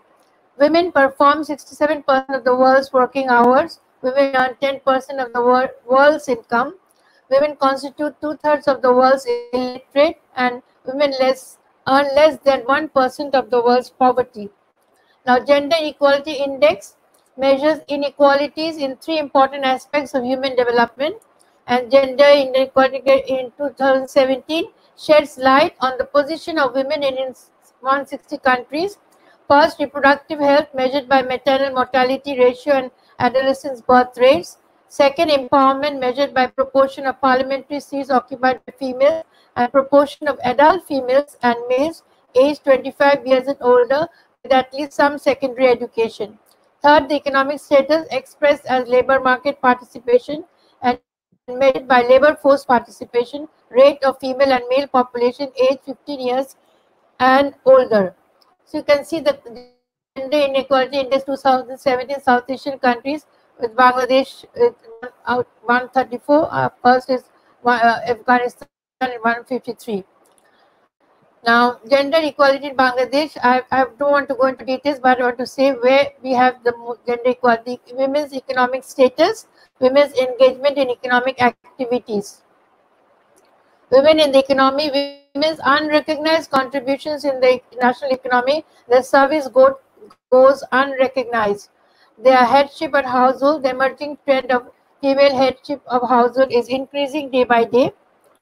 women and education, women and health, women and politics. These are the various areas. Now, the main concentration I go on the COVID-19 situation in Bangladesh.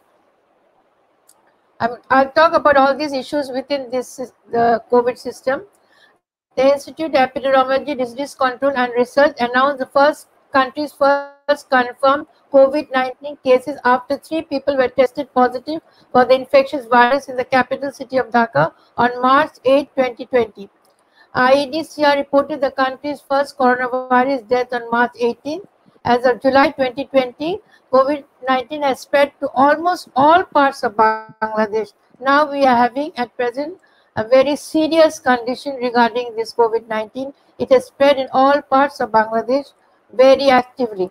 Because you see the, the, the main problem here is although the government has announced lockdown and social distance uh, measures, but due to the uh, unconsciousness of our people, the illiteracy of the people, and the, the poverty of the people, they do not understand. They did not understand what was actually the meaning of lockdown and social distance. This lockdown. They thought in the first that it is a, a, a type of natural holiday they observe during our Eid festivals. So they, when they, uh, the government announced the lockdown, you see, they went in bunches to their hometowns as they do during Eid festivals and other festivals. So lockdown was not understood by people and also social distance measures. Now, in, and, but I want to focus on women and girls. Unequal impact of Bangladesh. In Bangladesh, COVID lockdown at disproportionate Gender inequalities are exacerbating gender-based disparities between women, men, girls, and boys in terms of access to information, resources to cope with the pandemic and its socio-economic impact. The, the, the two important aspects which I'm going to focus is on female education or harmful effects on female education and on violence against women. These two have tremendously increased the effects. And also health has been also affected much, women's health. Many girls might never return to schools. Since March 26, all educational institutions have been closed as part of the government's efforts to contain the spread of COVID-19. As of now, schools are not expected to reopen until September, but that may also continue, depends on the situation of the country. The lockdown may force students coming from daily wage earning family, families to drop out due to financial problems. Girls are likely to be first to drop out and this may lead to increase in early marriage and other negative and gendered coping mechanisms. One of the organization, international organization Plan International Research shows that in crisis settings, girls live in fear of violence and a concern about the constant presence of armed men and about gender-based violence within families. Where we, schools are closed, girls are generally given more household responsibilities as compared to boys due to the pre-existing gender equalities and gender norms. Girls from marginalized and poor communities are the highest risk group. They may discontinue the education and number of out-of-school children may increase. As the schools reopens, a lot of girls will find it difficult to balance schoolwork and increase domestic responsibilities Many of them might shift to income generating activities to support their family, foregoing their education. The home quarantine during COVID 19 and the closure of schools, learning centers, child friendly spaces, protective environments will have negative impacts on the educational attainments and increase exposure to child protection risks such as sexual exploitation, child labor, neglect, and physical and emotional abuse that could negatively affect child development, especially adolescent girls. Now we have also the detrimental impact on income generating activities, women access to livelihood and food security is at stake. The, the most important part is lives of women in RMG sector is getting worse. The RMG sector, 65% of employees are women, around 3 million who are among the hardest hit by COVID-19. Uh, COVID-19 one quarter of garment workers in Bangladesh have been fired or furloughed because of declining global orders amid the coronavirus. You see, many of the uh, uh, buyers have uh, stopped down their export from the uh, from Bangladesh due to the uh, uh, coronavirus. Most of the workers did not get their salary due to shutdown of industries. Many industries were shut down in the beginning, but later on, when they when the when the whole uh, when it was lockdown was uh, announced, they don't understand. They came back because of fear of losing their job and also fear of losing their uh, their their salaries. The major income these workers earned was barely enough to cover their living costs, and as a result, they have little to no savings set aside to deal with the current crisis. Within these laid off female workers, there are single mothers, pregnant women, lactating mothers, and they will not get any support from their factory owners. Many of these face abuse at home by their husband. Disproportionate burden of houses and care, care work on women's shoulders. Due to this lockdown situation, you see we have average number of work spent on unpaid domestic and care work in a week disaggregated by sex is Bangladesh 24 hours for women and 7 hours for men. Lockdown and social distancing have resulted in increased burden of unpaid care work and household chores. A survey conducted by the UN Women suggests that little to no shift in redistribution of domestic work was as a result of this confinement. School closures during the lockdown further exacerbated the burden of unpaid care work on women who absorb most of the additional work of caring for children. Although men are at home and sharing some responsibilities like children's education or playing with children, 10% as opposed to women's 5%. Women's household chores have not necessarily decreased as per the survey conducted by UN Women. In a country like Bangladesh, where healthcare facilities are poor, we have a very fragile healthcare public health facilities. The unequal division of labor in household will be enhanced as COVID-19 stretches healthcare system resulting in care responsibilities falling into women and girls who usually bear responsibility for caring for ill family members and the elderly. As family members fall ill, women are likely to provide care for them. The care work, paid care work is more difficult for female-headed households Single mothers are particularly sensitive to the burden of unpaid domestic work. In comparison to couples that are married or cohabitating, a significantly higher proportion of single mothers report that the most time consuming activity is cleaning or cooking. The burden of unpaid childcare work is increasing much more substantially for mothers or female caretakers. Women with children are more likely than men to report increases in time allocated to playing, teaching, and taking physical care of their children. They are more, also more likely to multitask than men, as more women report minding their children while performing other activities such as work for pay, pay or profit. In households with elderly adults, women are more likely than men to report increases in the time spent on most unpaid domestic and care work activities they are substantially likely to see increases in the time spent providing emotional care and administrative support for adults, as well as cooking, cleaning, and making repairs since the spread of COVID 19. Many mothers often complain of being unable to cope with the work and maintain proper work time. In addition, they have to listen to the demands of their husbands who are at home due to lockdown and also other members of the family staying with them. Another great problem faced by majority of women is that those who had part-time domestic help in their houses had to remain on their own, running all errands in the households as these people were not allowed to come and work in the houses. So they are, those who have part-time uh, workers in the houses, they are now without any domestic help. Consequently, they always felt overburdened with work Doing office work from home and maintaining household chores became very difficult for them and this sometimes caused severe domestic violence in the homes. It is worth mentioning here that many partners tried to help their wives with household chores, but majority of them were not helpful. Now, in, in, it has impact on social and reproductive health. The maternal health facilities are under threat during this. Risk to women and girls also the health system divert resources from sexual and reproductive health care to respond to the epidemic and if supply lines begin to creak under the strain of the pandemic. Reproduct sexual and reproductive health services and commodities are often overlooked in times of crisis Yet women continue to require family planning, menstrual health supplies, and maternal health care system. You see, during this pandemic, when the uh, expectant mothers, the pregnant mothers went to the hospitals for the delivery of the child, they refused admission into the hospitals because of this coronavirus patients. They were given more care to coronavirus patients.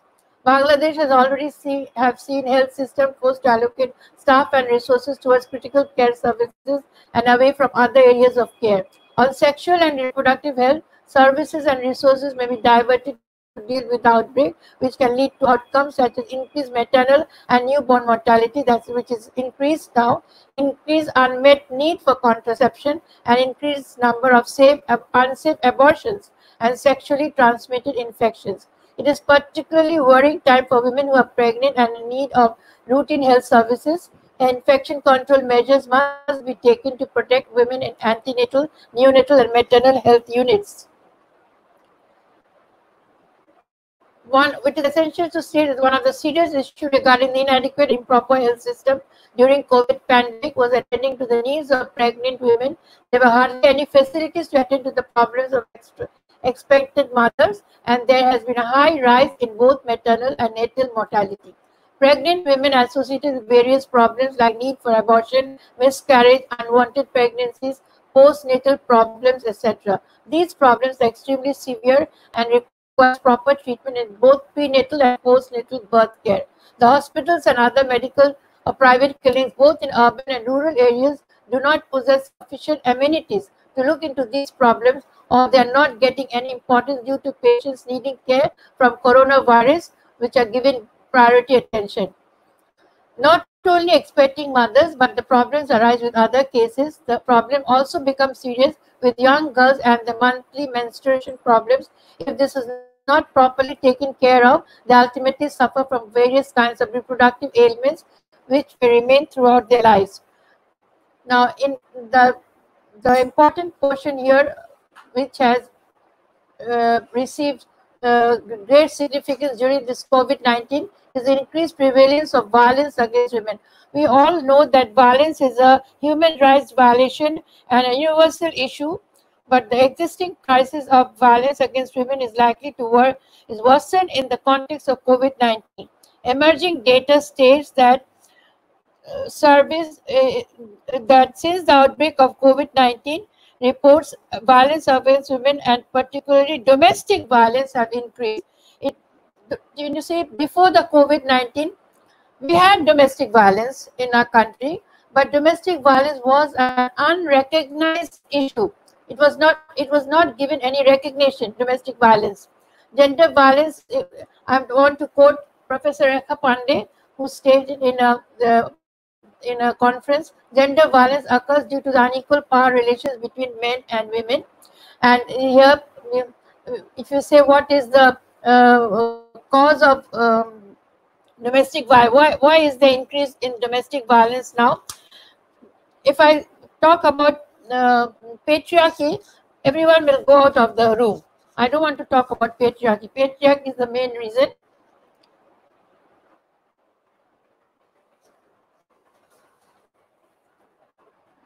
patriarchy is the main reason I know, but I don't want to talk about patriarchy here. I just want to say what is domestic violence. Starting with this, I want to uh, uh, start from a quote from WHO, the World Health Organization, in one of their uh, multi-country studies in 2007 in Geneva.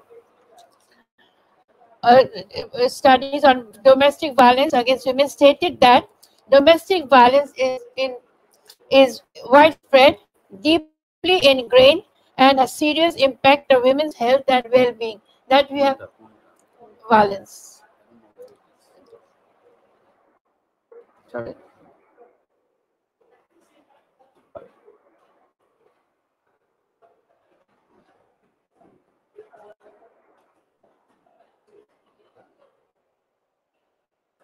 I don't want to talk about patriarchy. The the, the, I was talking about WHO's uh, the data that it has a serious impact on women's health and well-being. Its continued existence is morally indefensible. Its cost to individual, to health systems, and to society is enormous. Yet no other major problem of public health has been so widely ignored and so little understood. So global data shows pandemic disease outbreaks increase incidence of gender-based violence, particularly exposing girls and women to domestic violence, intimate partner violence, and rape. At the same time, life-saving care and support for gender-based violence survivors are disrupted when frontline service providers and systems such as health, physical and mental protection, legal and police and social welfare are overburdened and preoccupied with health COVID-19 cases. Domestic violence is not no longer a private issue, it has become a public issue now. Day by day, it is increasing in our country.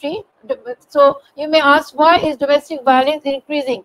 There are many issues, social, economic, psychological, everything, because in in the in due to the uh, lockdown situation, our uh, many of the uh, um, husbands are staying at home, and so they abuse uh, their wives. And but domestic violence is not only abusing wives; it, it has many layers.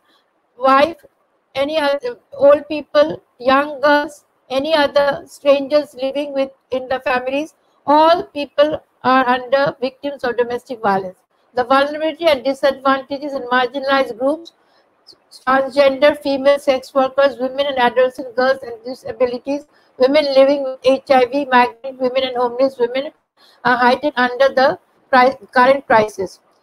A need assessment working group assessment report reveals 49.2% of women and girls feel safety and security is an issue in the lockdown. Both the gender monitoring network consultation and qualitative and a BRAC study on COVID-19 in the slums support the assumption of increased domestic violence. Anticipatory multisectoral needs assessment done in April 2020 reveals that at least 33% of women and girls are unaware of where to seek help for abuse and or ill treatment by anyone, including family members. We see we have laws for domestic violence, Domestic Violence Protection and Prevention Act 2010 but women and girls they fear to take any help from uh, this act. So the, the reason is they fear for social stigma and they fear for financial dependence.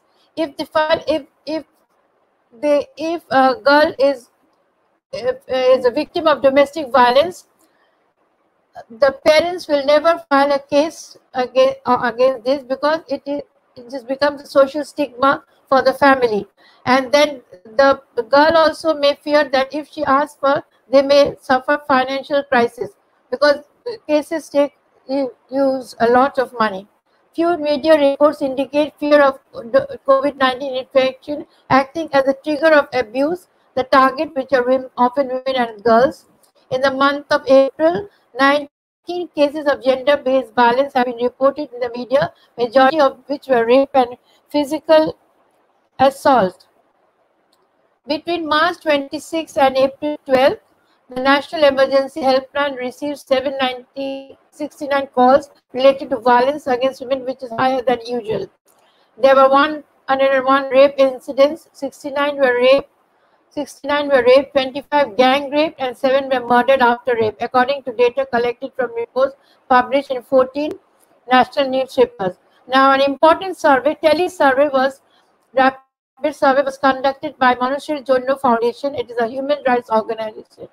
It start, stated that in, it uh, started the function from January to April, stated that nearly 4,000 4,000 uh, women have been victims of violence during January to April 2020, and among three women on an average, one woman is prone to domestic violence.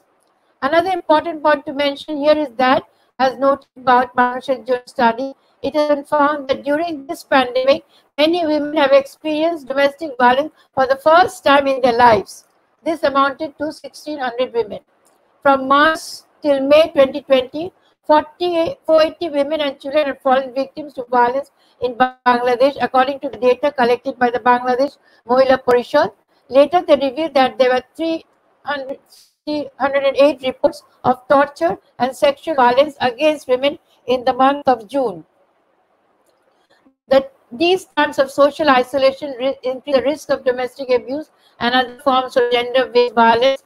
Women in violent relationships are stuck at home and exposed to their abuser for longer periods of time. This makes it very difficult for them to call helplines as the perpetrator is always around. Lockdown and loss of livelihood inevitably works as a trigger of violence against women. Cases related to the cause of loss of jobs for the male, giving rise to fr frustration. Increased amount of mental stress among men also cause trigger violence. Men are more likely to be employed as wage earners in the formal employment sector in the family, which means they will either continue to work and be at greater risk of exposure to the disease or find themselves suddenly un unemployed due to economic impact. This, combined with restrictions on social participation, may have specific impacts on men's mental health, which could increase men's violence against women and children in the family. Many men sometimes get very aggressive and arrogant when their wives deny their choice for any sexual activities. This is usually an issue of marital rape, which is very common in all societies, but there's a difference in the sense that cases of marital rape are easily talked about and sometimes cases filed in Western countries. But women of South Asia, and this is considered very private, therefore hardly discussed with any with anyone. But after, within this during this COVID-19 uh, period, you see, marital rape has been reported on and, on and off. So this is it is not no longer a private issue. It was found that in some cases women were at fault. These usually happen because, as we could see, that the crisis caused many women women, especially the working population in the professional areas, to look into household affairs together with maintaining office work from home. It became very difficult in maintaining proper timing for everything. This factor irritated many, causing aggression and irritation, taking their work workload, and so they were hardly interested in any type of sexual activities by their husband. Such situations also result in marital rape. Doing office work from home and maintaining household chores became very difficult for them, and this sometimes caused severe domestic violence in the homes. Experience have demonstrated that where women are primarily responsible for procuring and cooking food for the family, increasing food insecurity as a result of the crisis may place them at heightened risk, for example, of intimate partner and other forms of domestic violence due to heightened tensions in the household. Due to closure of school violence against girls might increase. They might also become victims of child marriage, especially in rural areas. While staying at home, girls might get violated by the relative and neighbors and people they knew. Evidence, emerging evidence suggests that the COVID-19 pandemic has the potential to increase the risk of sexual exploitation and violence as women and girls may be forced to exchange sexual services for essential goods. Thank you for attention and patience. And if you have any questions, I'm ready to answer.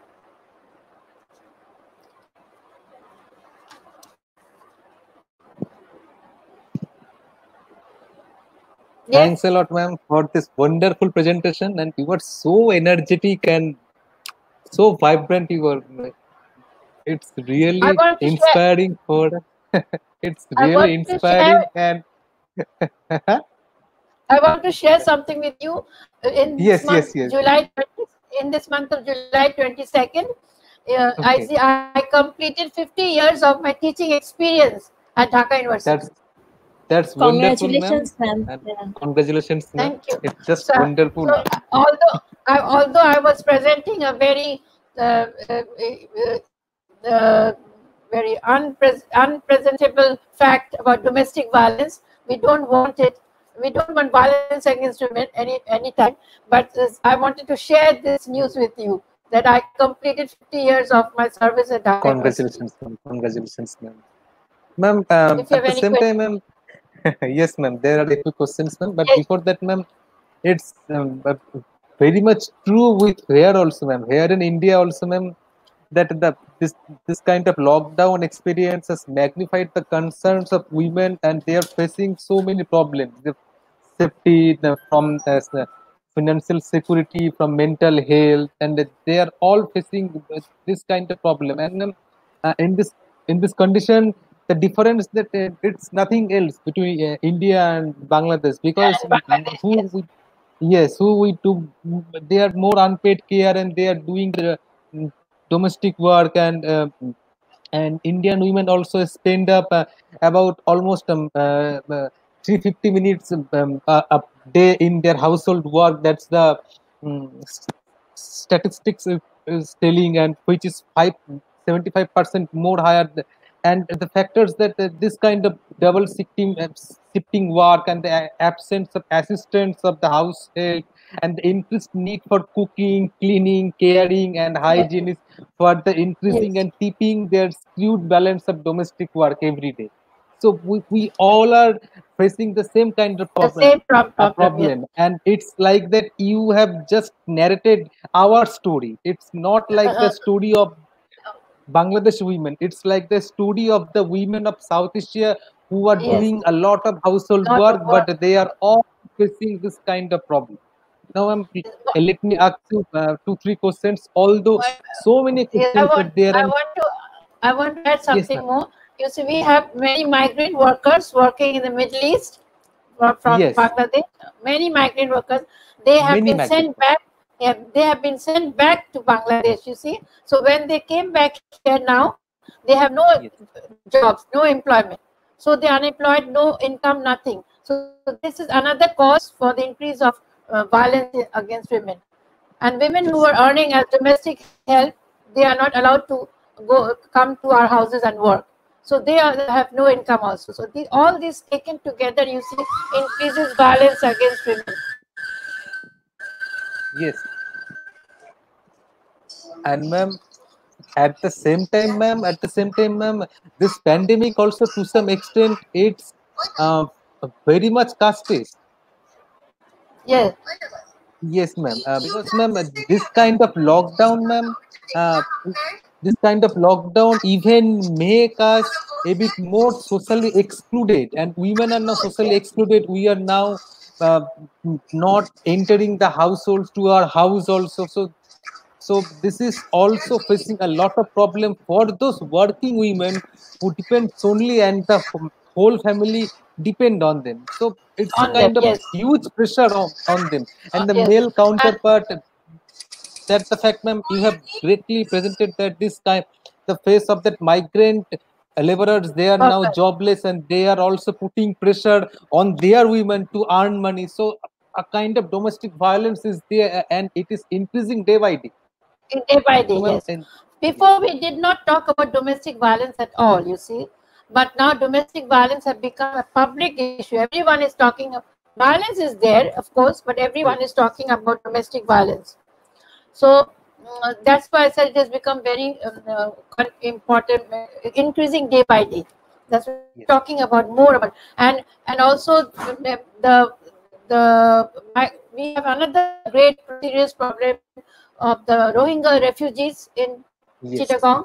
They are the Yes, yes. problem for Bangladesh. See, there the pandemic is increasing so fast because there's there's no question of social distance in in those Uh, reallocation camps. No question of social distance. So it is increasing very much. Together with that, we have a climate effect also. You see, nowadays we are having floods in the in Yes. some areas of Bangladesh. Floods has increased, and when when we have natural calamities, who suffers? The women in the house suffers more. So they are, they are suffering more now. So pandemic is on one side, and then then the uh, natural ca- ca- catastrophes on other side. So you're having great problems now. yes, ma'am. There are a few questions, ma'am. That um, Yes, you yes, said yes, in sure. uh, you said in the presentation that women were at fault for marital rape, and in some cases because they were overburdened with work from home and domestic um, household works, and uh, they didn't want to indulge in sexual act. Also, do you really agree that being physically and mentally tired justifies some kind of marital rape? Yes, yes. When when a woman is, for example, when a woman, uh, for example, she is very tired. You see, she is Yes. uh, overburdened. She is doesn't want, and and uh, the husband wants sexual relations with her. She may deny. She may uh, not be able to uh, agree with him. So then, the husband forces her, then that is marital rape. This happens everywhere, but we don't talk about it, you see, because it, in the subcontinent, we, do, we take it as a very, very private affair. But now no one talks about this as a private affair. All women are talking about that we are suffering from marital rape, you see, because they, they, they can't give more attention to their husbands due to overburdened work and uh, men- also mental agony is very suffering for them. Uh, suffering uh, like see many the children they have no schools now. For six months the schools are closed. What happens to the mothers who have to look after the children? The children have forgotten their studies. They don't know uh, what to study now. They don't sit for study. So what will happen when school reopens you see? There is hardly any chance for school reopening in the near future. Yes, yes. There is another question that um, yeah. how survival sex could be handled during this pandemic?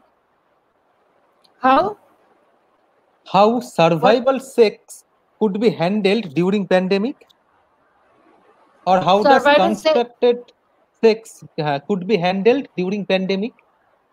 You see there, there are, we have many laws in the country and and there has been direction given to the law enforcing agencies to look after this that if if a, if anyone faces violence they should not be disturbed. But their work has not been give, given very definite analysis as what is the work that info, law enforcing agencies what are they do? Uh, the, the, there are very uh, deficiencies in the legal aspect of a country. You see, no one actually knows what their actual the work is to to for the survival of se, uh, uh, sex work. Yes. And, uh, why, despite the use of women as statistics, women are absent from recounting the story? Women are their their works are not their works are not counted as yet. They're not taken into the GDP in, the country. Their work, their work is unrecognized. Our work is still uh, domestic work. I mean, it is unrecognized. Women do a lot of domestic work, which, which when when we when we keep a domestic help in the country, we pay her. But when we do ourselves, we are not paid. It is not counted for. They think it is a natural duty. When my domestic helps go out, leaves, take leaves from me, I have to do all the work myself. Starting, yes. the men take this for granted that this is my work. I shall do the cooking at home. so they, they take it for granted. This is our work. This is not. And when I ask for my pay, but then you can give me the pay of what what we paid the uh, domestic help. Then yes. not, everything gets unheard. They don't hear of us. Uh, Our voices are not heard. Yes, Our that's the saddest, saddest. Yes, ma'am. Not, ma'am. Apart from that, there is another observation that I want to hmm. tell you that are only the women and girls only victimized during during this no. pandemic situation? Don't you think no. about that? The male are also being dominated yes, course, to certain extent. Course. Yes, women and girls are not only victimized; men are also victimized. You see, in this but we do we, uh, when we talk about gender for example yes. we mean both men and women right? But when we talk yes. about gender we mean we, we, give attention only to women. But men are victimized. But women are de- women are you see demeaning and undermining the silent affairs of the women. Women always silent. It is time has come for them to uh, uh, uh, for their voices to be heard even voices are not heard, no one gives attention to them. So before I uh, end, you see, I want to uh, suggest, uh, give a message to the silent sufferers, those who suffer from these uh, uh, different types of violence, different types of uh, sexual violence, rape, anything, domestic violence. I want to give a message to the silent sufferers of our nation. You should be proud that you are a girl or woman. You should feel yourself, fuel, F-U-E-L, fuel yourself with self-esteem and self-confidence. Love yourself and be strong. You may encounter many defeats, but you must not be defeated. I want to each of you to know that your voice can change the world. When a woman's word is heard, she is certainly a strong woman. Last but not the least, I would urge upon all the girls and women, please believe in yourself, master your, muster your courage, speak out, and be the heroine of your life and not the victim. A message for all the silent sufferers who don't speak out, you see. Yes.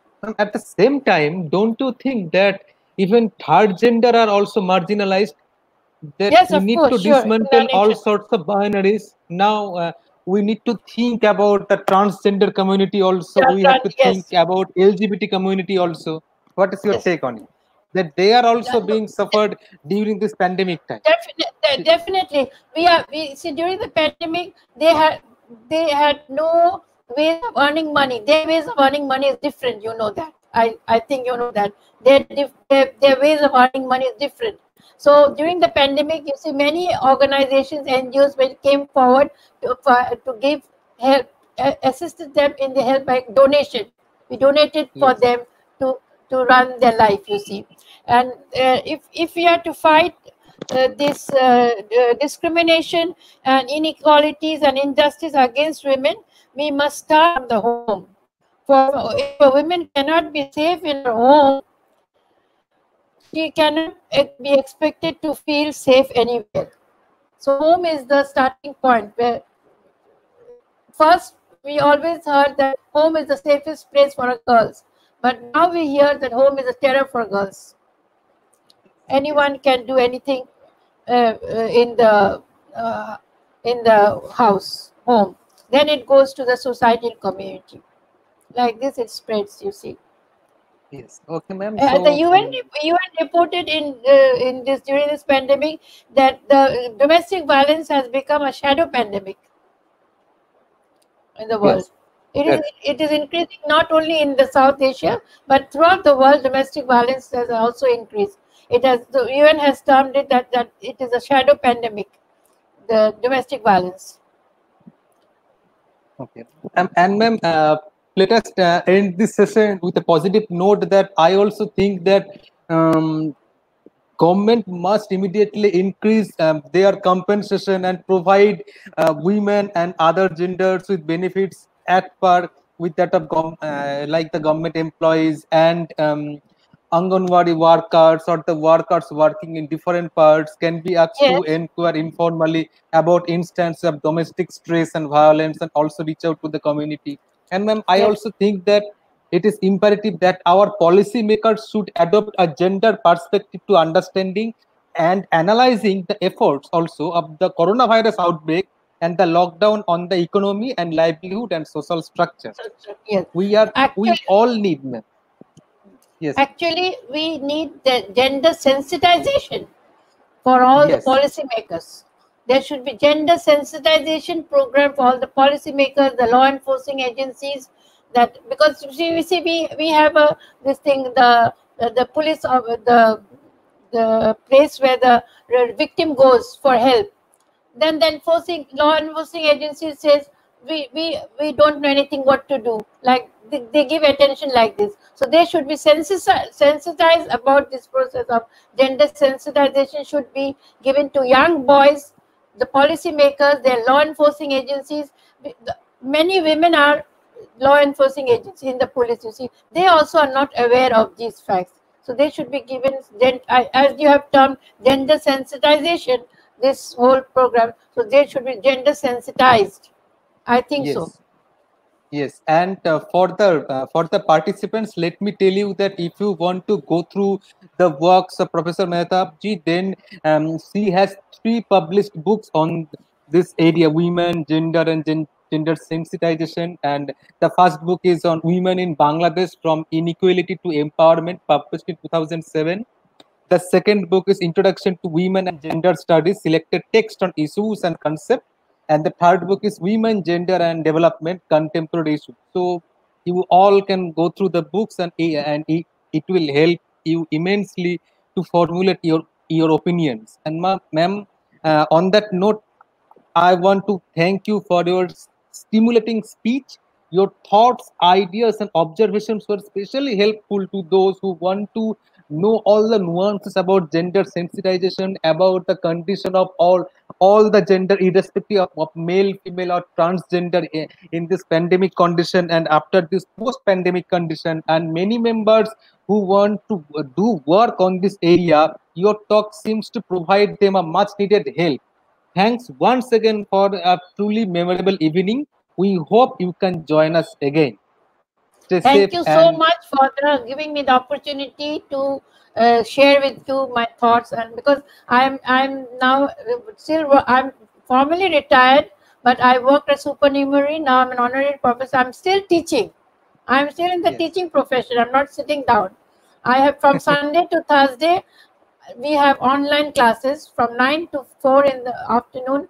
I, I told you that please change the date for because I have I had classes yes. till four. So online classes we are attending, and I I serve in in two in private universities also. Apart from Dhaka University, the public university, I teach in North South University, the first private university in Bangladesh, and another independent university, the private, where I teach both gender and also public administration. Both are side by side. I go because my basic background is public administration, but I did research for three long decades on women's and then established a department for women's studies with great struggle, of course. Okay, okay, ma'am. Thanks a lot. Thanks a lot for your deliberation. Thank you, Thank you very okay. much. Thanks. Thanks a lot. Okay. Now we are moving to the third and last section of our talk.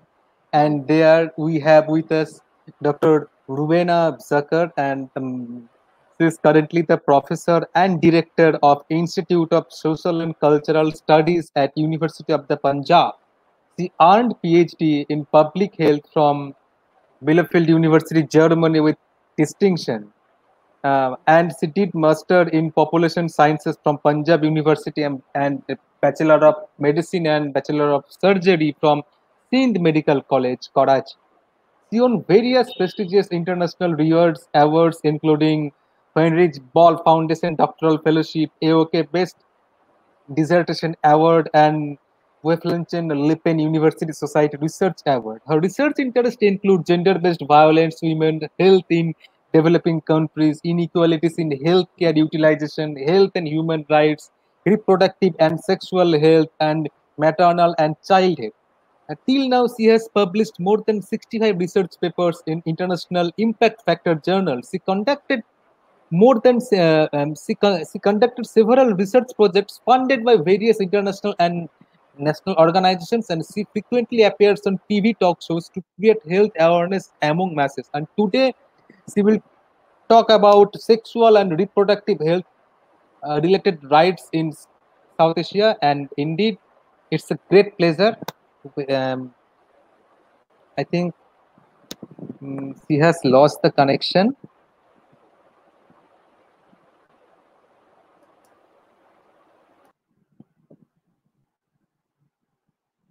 wait a minute for the technical glitches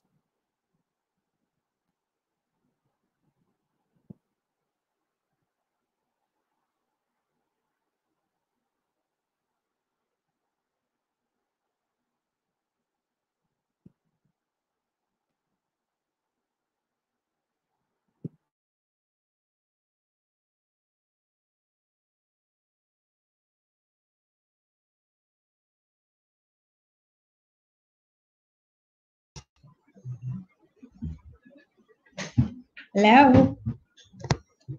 Hello. Do um, can you hear me?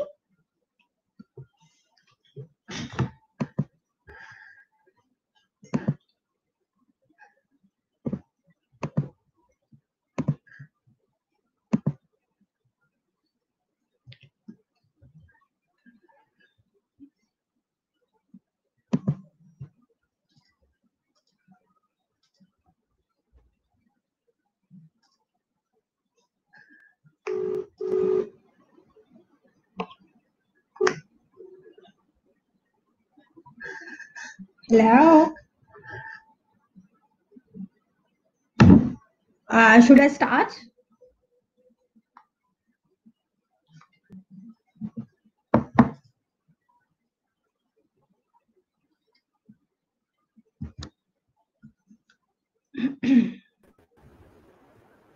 yes, ma'am, you can start. Yes, ma'am. Thank you. Please. Hello to everyone. Um, I will talk about sexual and reproductive health rights in South Asia. Um, uh, Dr. Uh, uh, the previous uh, colleague, she also talked about a little bit about uh, different issues related to sexual and reproductive health, but I will talk in detail uh, because uh, when you talk about gender sensitization, it is very, very important that uh, everyone knows about the sexual and reproductive health issues as well as sexual and reproductive health rights. So, um, when we say uh, reproductive health related issues, what do you mean? So there are a lot of issues when, when we talk about reproductive health related issues. First and very important is menarche. And uh, many of uh, of you know about menarche. Menarche is the first menstrual cycle um, at the time of puberty. And uh, many of uh, uh, women and girls, young girls, they experience a lot of problems because uh, in South Asian societies, uh, sex is considered as taboo and uh, there is not uh, um, uh, health education is uh, available related to reproductive health related issues so there are many issues related to menarche when uh, girls are uh, um, reach at puberty. So this is one of the issue. And the other is fertility and uh, contraceptive uh, use. And uh, as you know um, if there is uh, less use of contraceptive then there are chances of more unwanted pregnancies. And if there are unwanted pregnancies then there are more chances of induced abortion and if there are more induced abortion then there are chances that uh, women they can uh, experience uh, complications especially in those countries where abortion is illegal.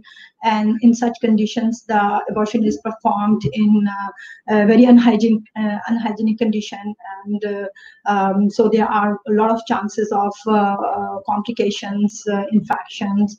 And uh, most of the time uh, it leads to death of uh, women so about uh, 13% of the deaths uh, which are occurring uh, related to maternal mortality, these are due to these uh, unhygienic abortions.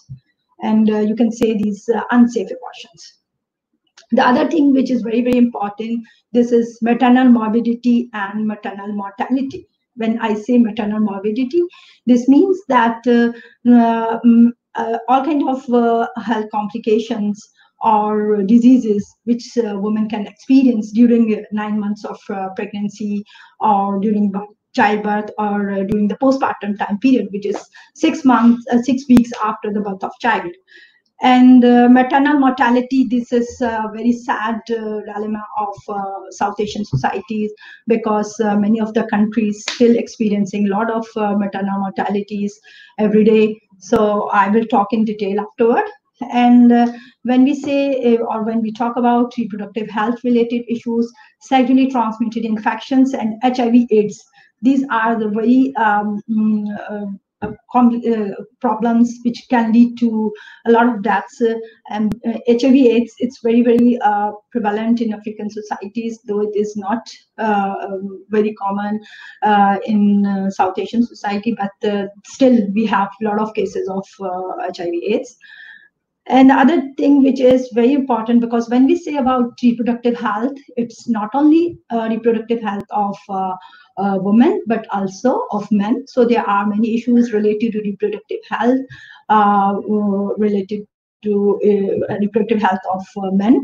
Uh, as well as uh, adolescent sexual behavior, it, is very, very important because adolescent sexual behavior it is linked with sexually transmitted infections, as well as uh, uh, prevalence of HIV infections in in a society, and uh, uh, reproductive health service delivery and healthcare programs. This is also very important because uh, if we want to reduce maternal mortality, then it is very, very important that we should have very um, quality healthcare system for um, which is which include antenatal care, uh, natal care, and postnatal care for women. And then very, very um, mm, important issue which uh, already discussed by Nazmunnessa. Uh, it's uh, gender discriminatory practices, especially the cultural practices. And one of two of the examples are child marriages and intimate partner violence. Um, and there are many other uh, uh, cultural practices, for example, female gen genital mutilation, which is uh, very common in African and Egypt, as well as in Egypt. So, um, so these are the some of the reproductive health related issues because you should know that when we are talking about reproductive health related issues, so what kind of issues we are talking.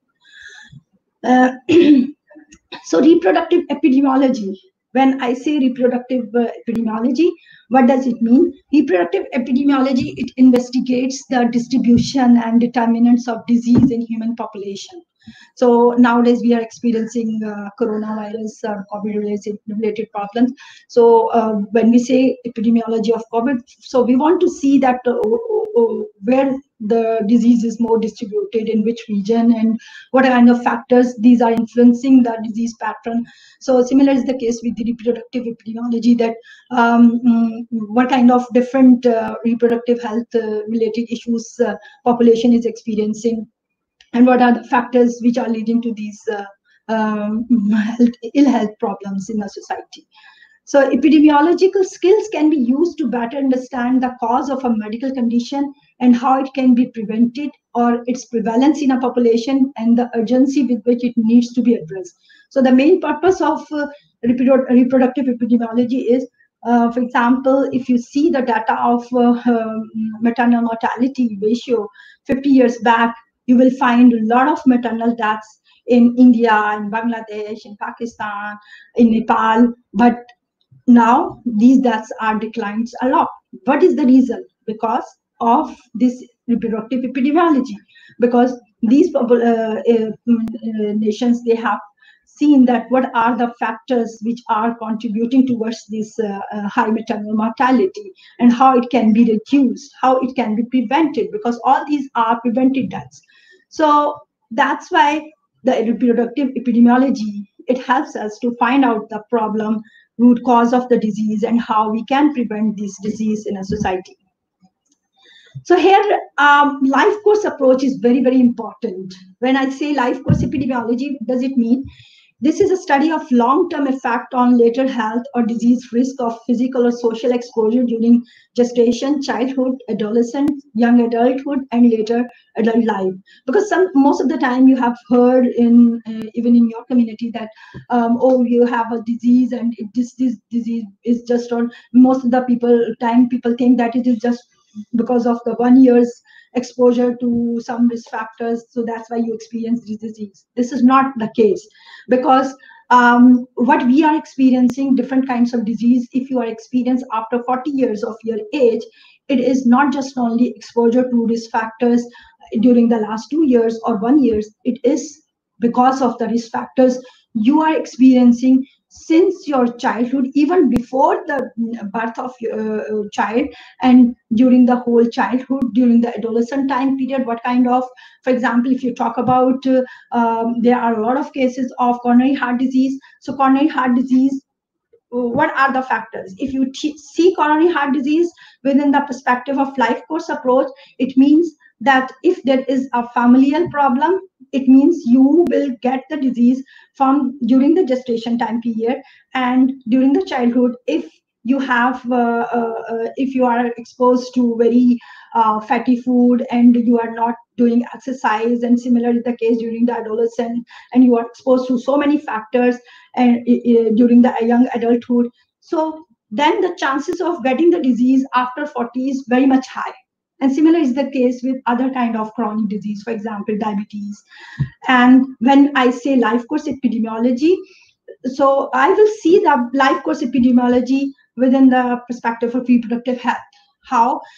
Because women's health, it is very, very essential to the health of individual, family, and society over time. And when I say life course approach, life course approach, it suggests that a complex interplay of biological factors, because when we experience a disease, there is not a single factor. There are multiple factors which are contributing towards this disease.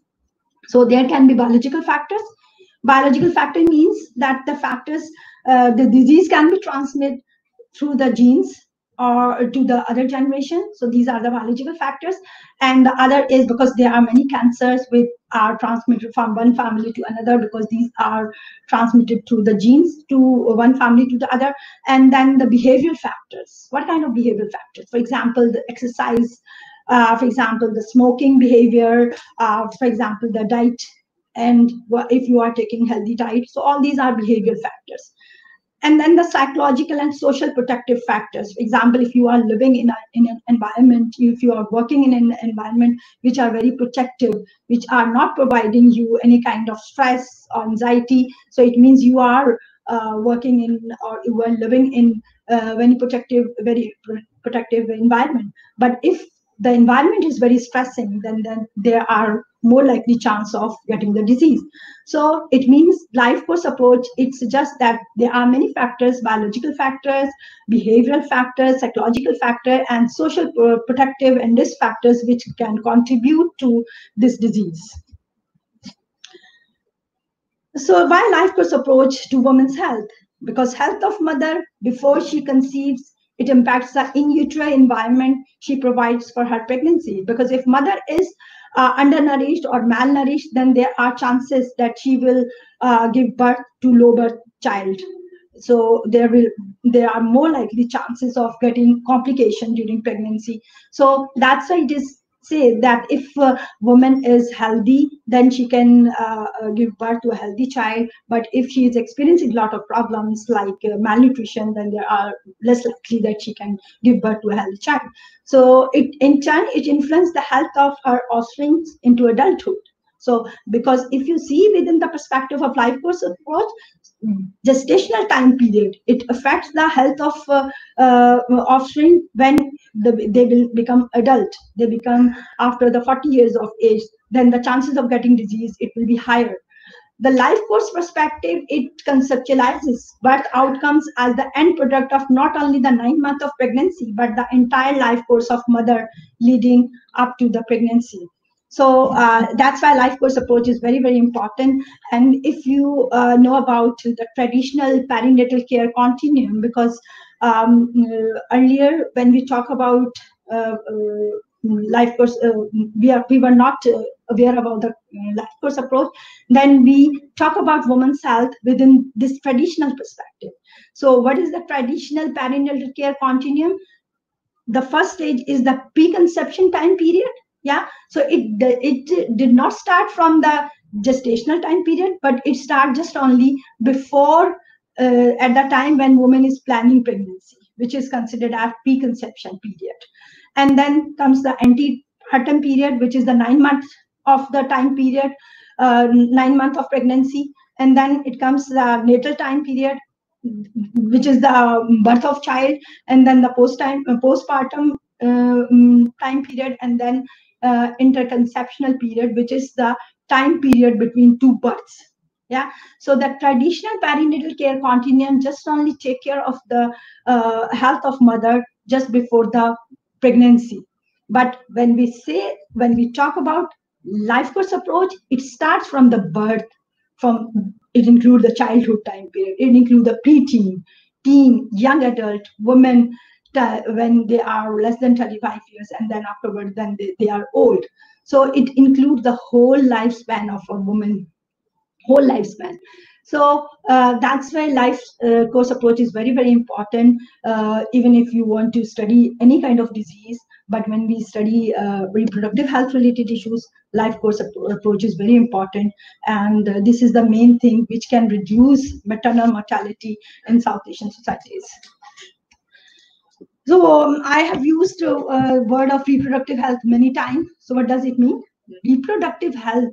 This is a state of complete physical. It is just only not related to reproductive organs, but it is a state of complete physical, mental, social well-being, and not merely the absence of disease or infirmity in all matters related to reproductive system and to its functions and processes.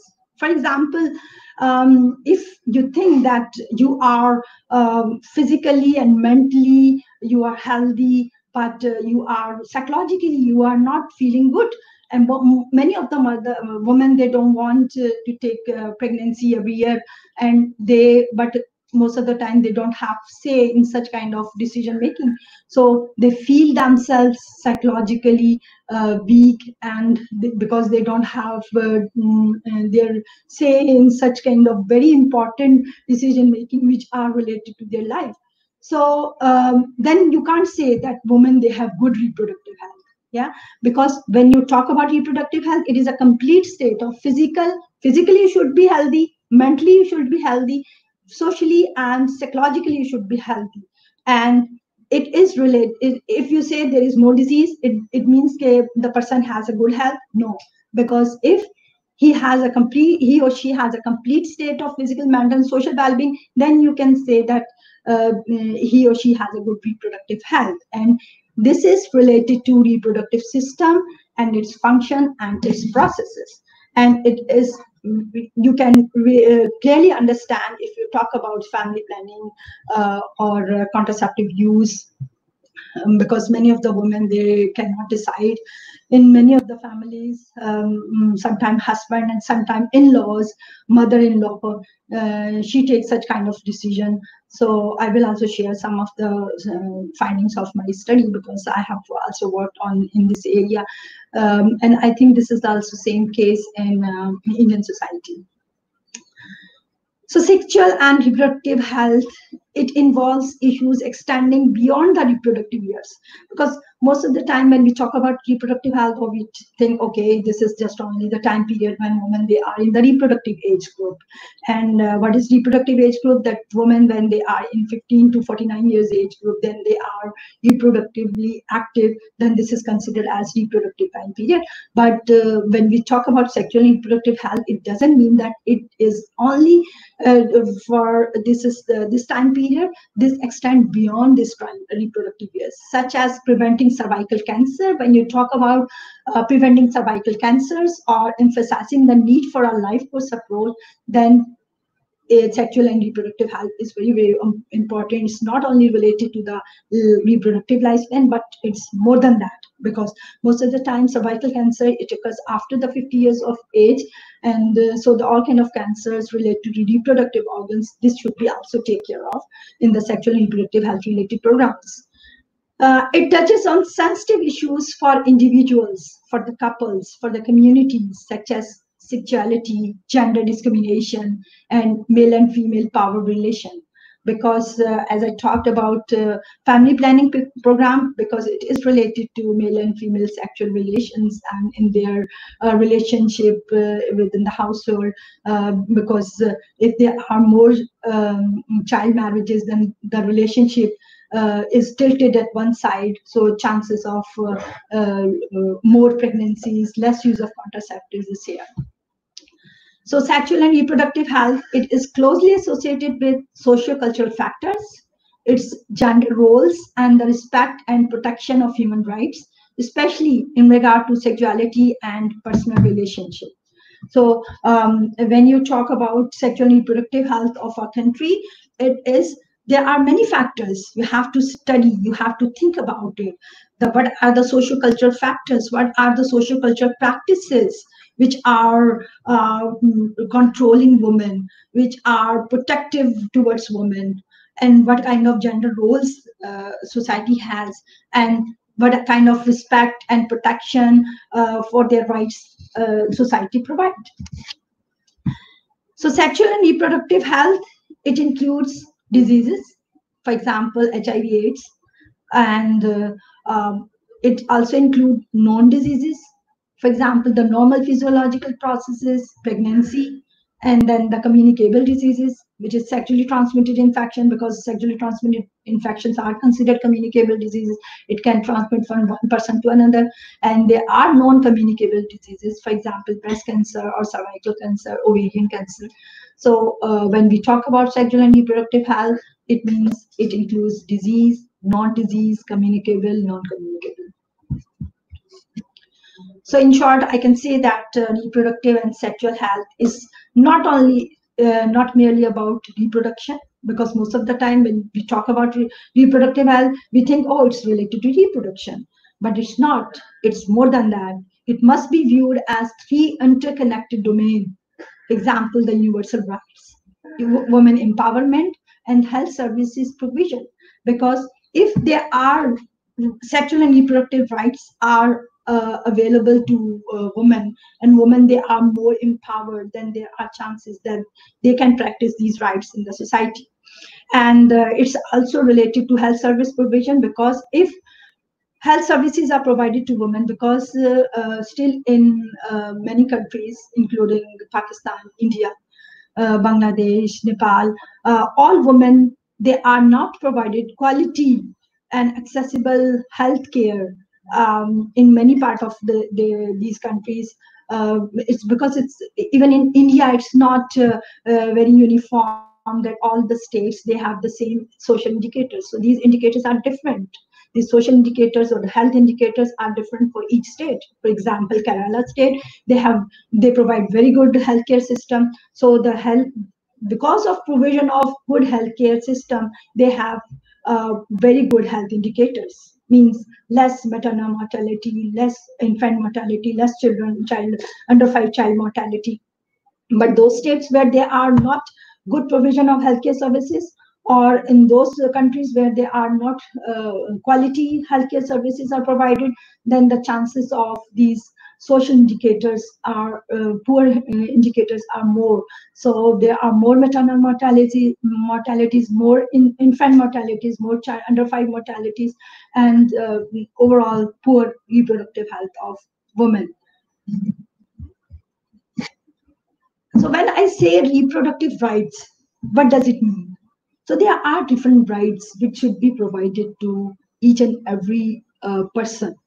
Either it is he uh, man or woman. So these rights should be provided. The first right is right to consent to marriage and equality in marriage. So if you think about uh, uh, indian society do you think that the right to consent to marriage is there? Or if right to consent to marriage is there then do you think that equality in marriage is there because uh, um, most of the time uh, in our societies, the uh, marriages are arranged marriages. And uh, sometimes it's very uh, common proverb that if uh, a girl says uh, nothing, it means it's yes. So, but most of the time it's not true. So, um, consent of to marriage is very very important right for everyone for for men as well as for women. So it's not like that uh, consent to marriage is not uh, this right is not provided to women but men they have been provided to, to this right. No it's it's uh, equal for both men and women. There are many men who are not provided uh, this right but the problem is girls young girls they are experiencing a lot of problems because of uh, non-availability of this right. And uh, uh, when you talk about equality in marriage because if there is equality in marriage um, equality in marriage means that women they have also the equal uh, uh, mm, chances of decision making in their day-to-day relationship. For example if they talk about uh, healthcare utilization they have mm, mm, decision making uh, where they have to contact in case of uh, uh, antenatal care or postnatal care or delivery care. But many of the unfortunately many of the mothers they don't have this right. They can't decide that where they have to contact because most of the time mother-in-laws uh, they say that okay we have uh, give birth to uh, 10 children at home. Why can't you? So why you need an expensive doctor or a hospital? So um, so that's why uh, most of the time women or even the couple they are not provided uh, uh, equality in marital relationship. So this is very very important right which has a lot of consequences for uh, women's health afterward right to privacy the right to privacy. This is also not unfortunately in south asian societies right to privacy is not available because the mm, a majority of uh, population they are living in small houses. Uh, many of the people they are living like two or three families are living in a small houses. So they are not provided a private place and they are not provided uh, privacy when to decide for their families uh, uh planning so they can't plan it because after one year of uh, marriage most of the time people start asking, oh, when you are deciding for mm, giving birth to your child, or like this kind of different uh, questions uh, girls has to be experienced. So the other thing is the right to control one's reproductive functions. Do you think this right is available? Yes, you can say this is available uh, for those women who are well educated and even uh, if uh, sometimes uh, women are well educated even they can decide. And uh, so the right to control one's reproductive function when they have to decide uh, with the number of children how many children they want it is sometimes it is controlled by the know, power structure of the household. Mm, sometimes by the in-laws sometimes by the husband and sometimes women they have little say in such kind of decision making. And similar is the case with the respect to spacing of children. Uh, for example if a woman she wants three years spacing or two years spacing she cannot decide about this until and unless husband is not with her. And similar is the case if uh, in-laws are pressurizing her so then she cannot decide about spacing of children so although it has improved a lot but still many of the women in rural areas in urban slums they are experiencing uh, violation of such rights. The right to legal or safe abortion. This is also very very important because uh, in south asian countries uh, abortion is illegal and uh, because of uh, illegal nature of uh, abortion uh, most of the services which are provided under the table these are unsafe uh, abortions. Because when we say unsafe abortion unsafe means that these services are provided by the healthcare providers who are not trained in it. Because for example maybe DAI is uh, performing such abortion or uh, it is conducted by uh, either it can be conducted by doctor but it is not provided in a safe and hygienic environment because the clinic is in such place which is hidden by uh, the others uh, uh, uh, so that's why the people they don't know what kind of activity is going on inside. So in such con condition it is very difficult to provide uh, hygienic and uh, sanitized material at the uh, abortion clinic. So because of this unsafe abortion there are a lot of maternal uh, deaths are occurring so the right to legal or safe abortion is not available. The right to access quality reproductive health care as I talked earlier, that uh, uh, quality reproductive healthcare services should be provided if we want to reduce maternal mortality, if we want to reduce child mortality.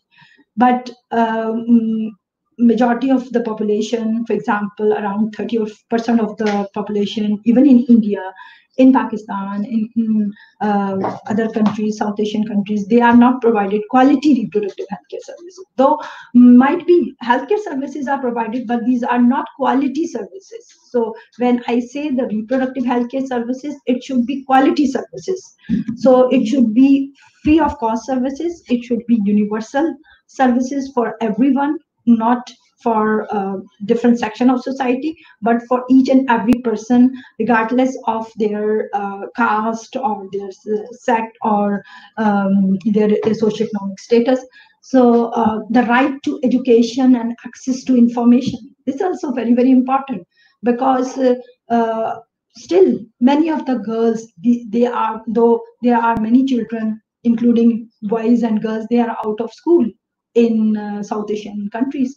But uh, if you see the statistics, there are more girls who are out of uh, school because it is very general assumption that uh, girls what they have to do after getting uh, so much education they have to take care of household so it's not very important because they are not going for jobs so it's not very important that they should be provided uh, education even they are provided education they are not provided higher education then so it's still a problem so right to education and access to information this is also very important reproductive right the right to pursue satisfying, safe, and pleasurable sexual activity, a sexual life.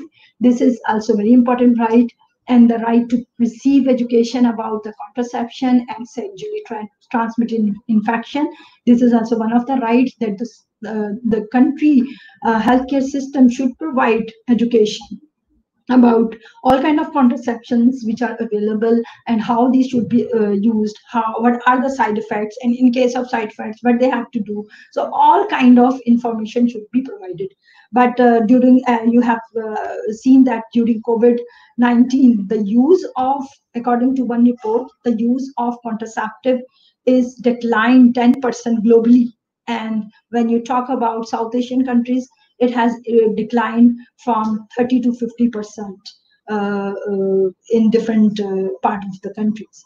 So um, it's very, very, very important that uh, all kind of information related to family planning, related to contraceptive methods, and sexually transmitted infection should be provided. The right of freedom from violence and ill treatment this is also very important right? Because uh, as uh, uh, professor Saiba talked about intimate partner violence it's increasing during the covid time period. Domestic violence is increasing.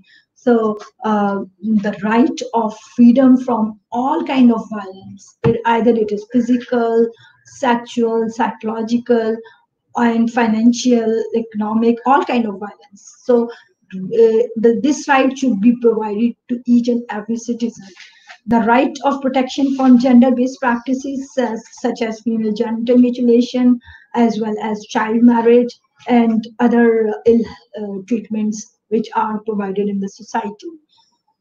So this is all about uh, sexual and reproductive health rights. And the next term which I have used a lot is it's reproductive health care.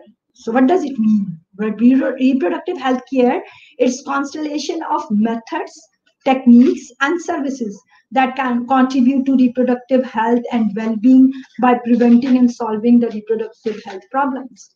And it also includes sexual health, the purpose of which is enhancement of life and personal relations and not merely counseling and care so it should include counseling because you know many of the family counselors are available in, in indian society and as well in pakistan so but it's not only provided uh, counseling and care related to reproduction and sexually transmitted disease, but it include all the domains of related to sexual and reproductive health. Then you can say that reproductive health care is provided in a society. So what are the components of sexual and reproductive health care? It's improvement of antenatal as I talked earlier, the antenatal is the time period during the nine months of uh, before the birth of child, the nine months time period. Perinatal, around pregnancy means time period around pregnancy, postpartum, and newborn care. So uh, when we talk about sexual and reproductive health care, it means that these services should be provided. The provision of high quality services for family planning, including infertility services, and uh, um, because you know the family planning services should be provided by the state free of cost because many of the family planning uh, programs in each country there is a family planning program is going on. And the main purpose is to impart knowledge about the different kinds of contraceptives to uh, tell people that how important these are and um, in case of in, uh, side effects where they have to contact. So all kind of information it should be provided and as well as to provide these contraceptive uh, methods or uh, uh to the um, clients. This is also part of this family planning program. So if family planning program of a um, country is strong then the chances of uh, uh, unsafe abortion is, will be very minimal so elimination of unsafe abortions, prevention and treatment of sexually transmitted infections, including HIV, reproductive tract infections, cervical cancer, and other gynecological morbidities. So uh, all kind of uh, mm, uh, there should be some uh, uh health awareness programs that how sexually transmitted infection can be prevented, how HIV AIDS can be prevented, and especially they have to think about the high risk group because uh, when we talk about STIs and HIV, then uh, we have to see if there are sexual workers are working in a country that how these are controlled and if they know about uh, such diseases if they what kind of prevention preventive strategies they are using and the promotion of healthy sexuality and good adolescent reproductive health uh, is also one of the components of sexual and reproductive health care and uh, elimination of all kind of ill uh, treatments, for example, intimate partner violence and child marriages. So what is the global burden of uh, sexually and reproductive health condition? Why it is important to talk about sexual and reproductive health? Why? Because worldwide an estimated 250 million years of reproductive productive life of a person are lost every year as a result of reproductive health problems. So uh, reproductive health uh, problems, these are very important to study because it can lead to a lot of productive years lost uh, in a country. So sexual and reproductive ill health account for one third of global burden of disease among women of reproductive age. Because if you talk about, uh, you know, about the global uh, burden of disease, burden of disease means we want to see that in a society, which disease is most commonly creating the total uh, burden of disease. Yeah, if there is 100% burden of disease, it means one third, 33% or 32% of uh, burden of disease is due to sexual and reproductive ill health problems. And this is with respect to when we talk about women of reproductive age. But if we talk about overall population, then one fifth of burden of disease uh, is due to reproductive and sexual uh, ill health related issues yeah? So it means this is very very important to know about the sexual and reproductive health rights and its related health issues because it is responsible for 33% burden of disease for women and around one fifth of burden of disease for overall population. Unsafe sex is the second most important risk factors for disability and death in world's poorest communities. How because as I discussed earlier, that because of unsafe, uh, unsafe uh, sexual practices, there are chances of getting sexually transmitted infection. There are chances of getting HIV AIDS, which are very deadly disease. And there are chances of getting frequent pregnancies, uh, which can lead to sometimes uh, unsafe abortion and to death and sometimes complication during pregnancies and lead to child uh, maternal mortality. So it is the ninth most important in developed countries, and around 210 million women have life-threatening pregnancy complication. Uh, because most uh, why women they have complication most of the time when there are frequent pregnancies when there are uh, less space between pregnancies then there are chances of pregnancy complication is much much much higher so half a million women die from complication associated with pregnancy, childbirth, and postpartum period. So that's why we are talking about women's reproductive health because it is one of the main cause of maternal uh, women's uh, death. So it shows uh, burden of disease um, uh, estimated uh, from 90 to 2000 data, and uh, it shows that sexually transmitted infections it can uh, uh, lead to uh, around in 1990 6.5 years of life lost but in 2001 it 5.4 and according to recent data it is around four uh, years of life lost because of uh, um, uh, this sexually transmitted infection. And similar is the case with other kind of sexually trans reproductive health related issues.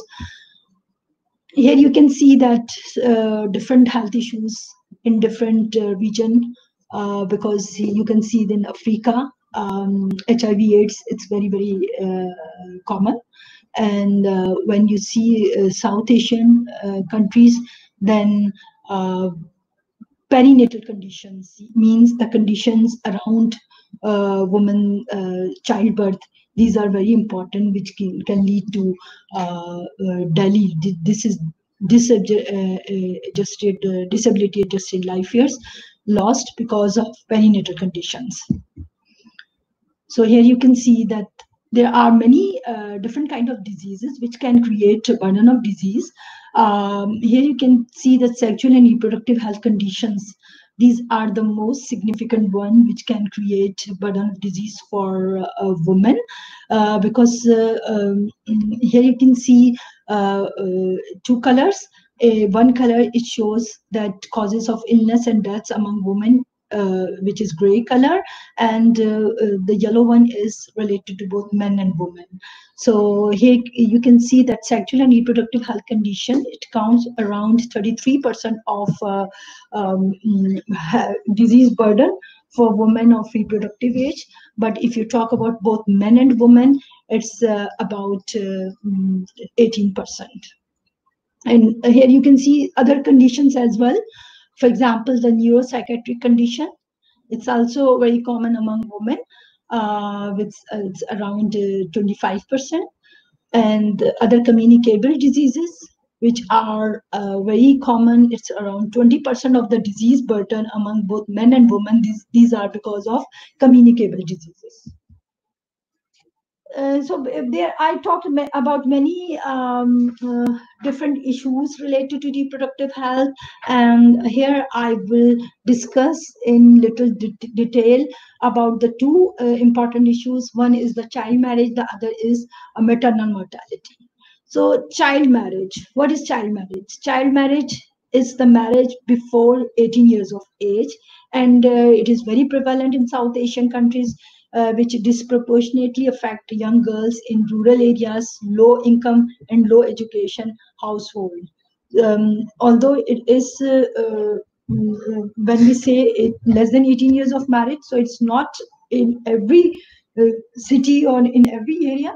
It's more most commonly uh, uh, prevalent in rural areas or in those areas which is low income countries or uh, sorry low income areas and low educated households because the girls they are not uh, provided high education and they are just married before sometime before uh, 14 years of age sometime before 18 years of age.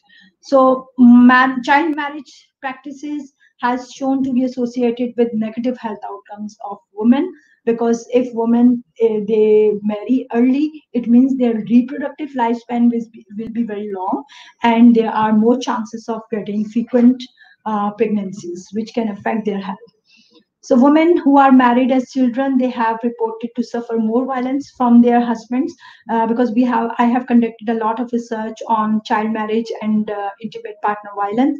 And uh, i found that the, many of the girls who were married at early age they were experiencing uh, uh, different kinds of violence and not only psychological violence uh, and sexual violence but physical violence was also very common.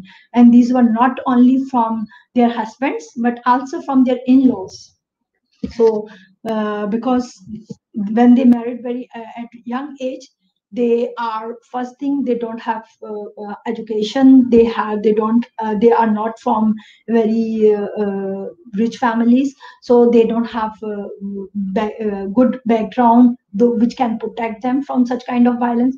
So these women they experience different kinds of violence because of different reasons. South asia has the highest rate of child marriage in the world and because if you talk about uh, uh, african countries and other uh, pro, uh, areas the south asia is the region where it's very very uh, high, highly prevalent. Almost half of all women aged 20 to 24 years reported being married before the age of 18 years. And almost one in five girls are married before the age of 15 so because uh, one thing that marriage before 18 years it's uh, uh, very harmful. But if this marriage is before 15 years, years, years age then it is more more harmful for for women. Uh, bangladesh has the highest rate of child marriage in asia the fourth highest rate in the world. And nepal has also one uh, of the highest rates of child marriage in asia for both boys and girls. So because when we talk about uh, bangladesh they have uh, high rate of uh, child marriage, but mostly for girls. But when we talk about Nepal, they have uh, highest rate of child marriage for both girls and boys. Here you can see child marriage in South Asian and Sub-Saharan Africa. Uh, the highest prevalent area where child marriage is common in the world is Niger. Here you can see about 70 uh, 4% of the uh, women under 18 years of age, they are married before 18 years. So uh, it's a huge number, and they have divided this to into uh, two. Uh, here you can see the dark blue and the light blue. The light blue color shows the uh, marriages under 15 years of age, and dark blue shows 15 to 18 years of age. So um, in Niger, around 36% of the marriages these are under 15 years age, and uh, the remaining uh, 35% are uh, under uh, 18, 15 to 18 years age.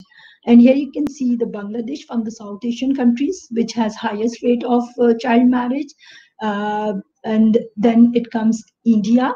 India has also around uh, 40, 47 percent uh, of the girls under 18 years they are married uh, um, uh, as a child. And uh, in pakistan it's about 24 percent girls they are married before 18 so here you can see in sri lanka um, there are less number but uh, you can see that almost uh, many of uh, South Asian and Sub-Saharan African countries are included for such uh, child marriage practices. Here you can see the percentage of women aged 20 to 24 years old who were first married or in union before age 18.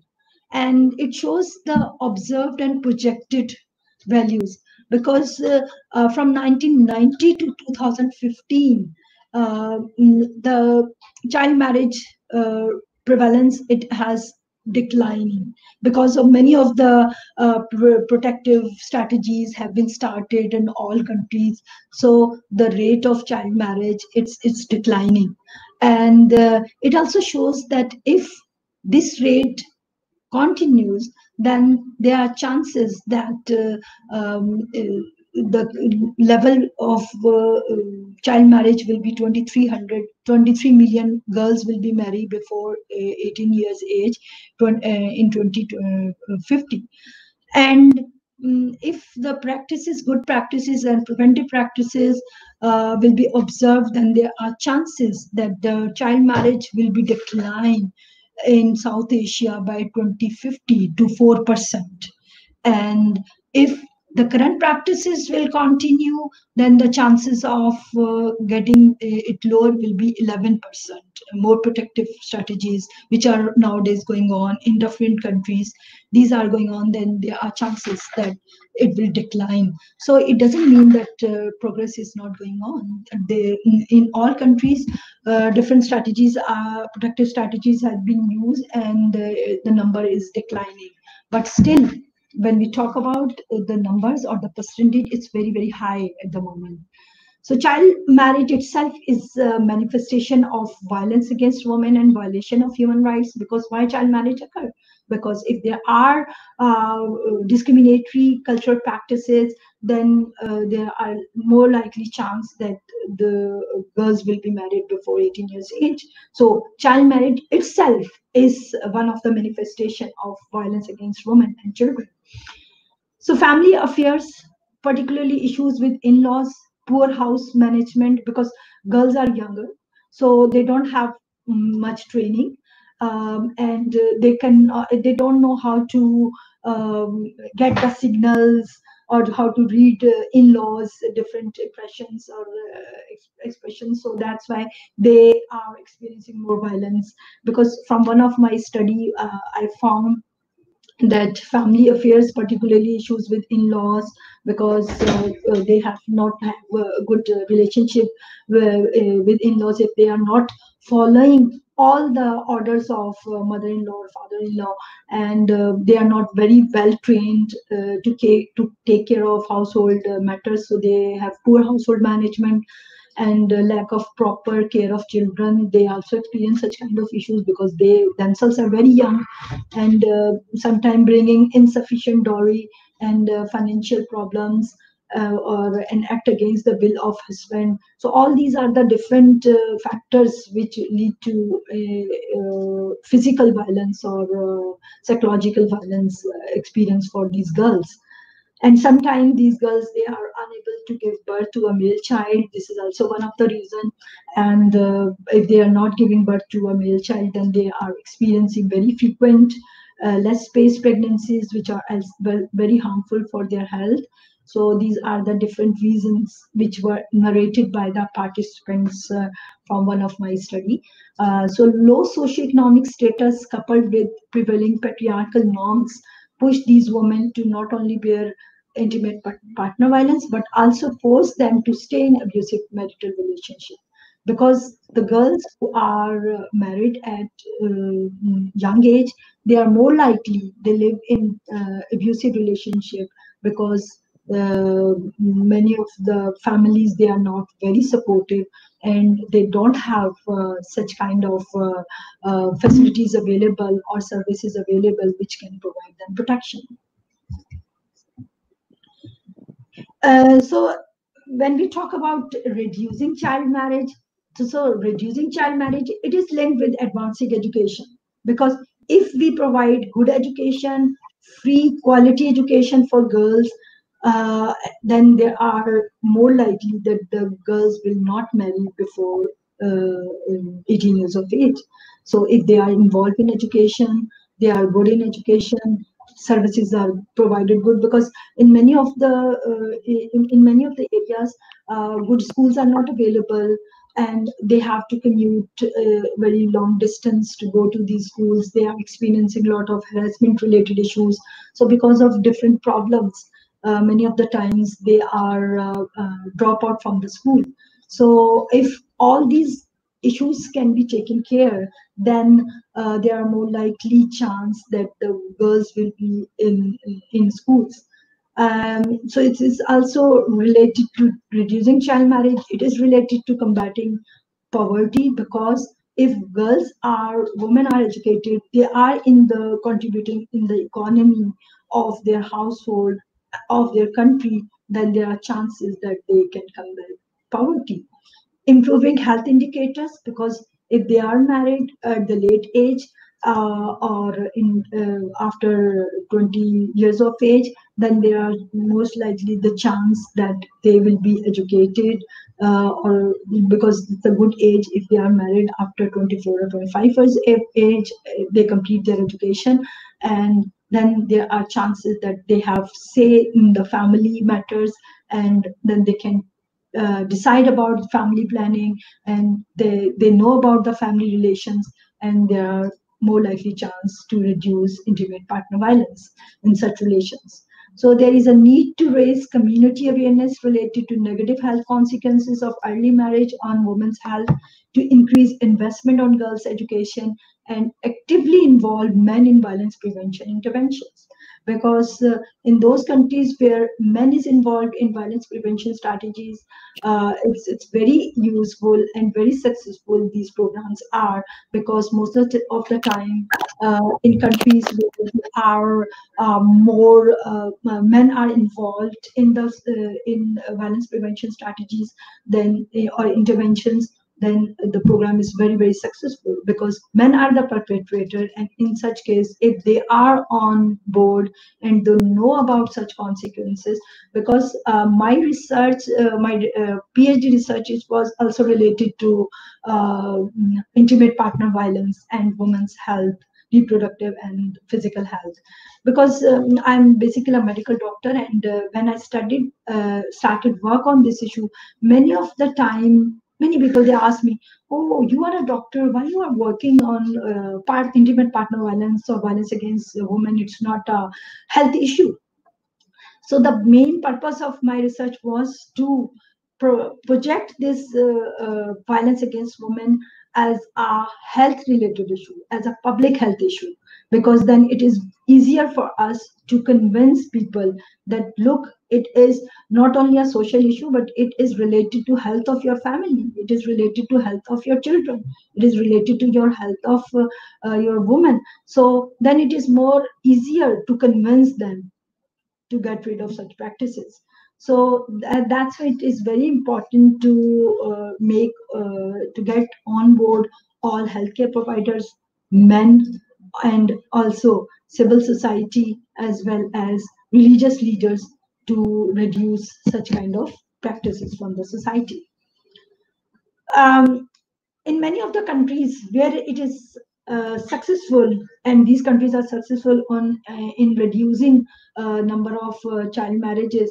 Uh, these are for example in nepal and afghanistan they created a positive legal and policy environment. So if there is a law that nobody can they, there are specific age group for both girls and boys example, in some areas there is the girls cannot be married before 16 years of age, and uh, um, boys cannot be married before 18 years of age. But I think it should be equal for both men and women. It's 18 years age, and uh, if it is there is legal provision is available, then it is easier, uh, and there is good implementation of these laws. Then it is easier to reduce these uh, such practices and uh, in Bangladesh and uh, in Bihar, uh, they have very good strategy of mobilizing communities for change. Because in India, human chain of 1400 kilometer long, it was developed and uh, it composed of hundreds of thousands of people across Bihar in January 2018. And now, up to now, many of the other states are also uh, contributing in it and they are taking part in it. So mobilizing community for change is also very, very important and it was very successful in Bihar because in Bihar there were a, mm, huge number of uh, child marriages cases were there. So that's why they have started this uh, uh, preventive strategy of mobilizing communities. So, and in similar is the case in uh, Bangladesh. In Bangladesh, they have started um, multimedia campaigns using the print and electronic media, social media, to uh, aware uh, people about the consequences of child marriages, and it was also very successful. Even their religious leaders, they have actively contributed to reduce such practices and uh, mm, then providing services to end child marriage is very very important. For example if good services are provided um, mm, good education services are provided uh, facilities are provided then it is more likely that this practice of child marriage can be ended. The second issue which i would like to talk about maternal mortality. Maternal deaths today Excuse me, uh, that um, so many questions are there so i'm requesting you to, con to conclude the sessions because i will also take four five questions. So if possible please conclude the sessions within five minutes. Okay. Um, so i just because i have included uh, maternal mortality in uh, yes, and yes. so just a little bit about the maternal mortality so maternal deaths uh, why maternal mortality? Because it's preventable deaths it's not these deaths which cannot be prevented. These are preventable deaths. And uh, about 290, uh, 295,000 deaths in 2017 uh, in from these countries. And about 94% deaths are uh, from low income countries. And which countries are, which regions are contributing most? These are the sub-Saharan Africa and Southern Asia which account for approximately 86% of estimated global maternal deaths. And sub-Saharan Africa alone accounted for roughly two-thirds of maternal deaths, while South Asian countries are around 58,000 deaths. So um, young adolescents face a high risk of complication and uh, as i talked about child marriage because the uh, mm, uh, young mothers they are at the high risk of maternal complications. So how we can reduce maternal uh, that skilled care before during after childbirth can save lives of women and newborn. Here you can see um, maternal mortality uh, trend in south asia from 90 to 2013 it has and it's very uh, good news that uh, the trend is decreasing in all countries for example, if you see in Afghanistan, it's also in decreasing, and uh, in India, also in Pakistan, everywhere it is decreasing. But uh, in some countries, the pace of uh, this reduction is very fast, but in some countries it's not. Here you can see uh, proportion of reduction in maternal mortality ratio. Um, blue line, it shows the proportion uh, which the countries they have achieved. And uh, uh, if you have heard about Millennium Development Goals, because the Millennium Development Goals, they have all countries they have to achieve by uh, 2015.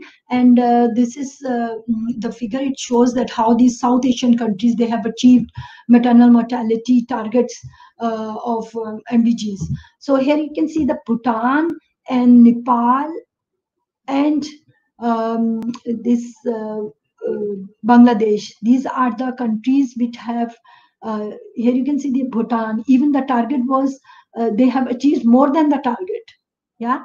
And Maldives, this is the country, they have achieved more than the target. And Nepal. So Bhutan, Maldives, and Nepal, these are the countries who have uh, achieved the targets. And um, India, the target is here.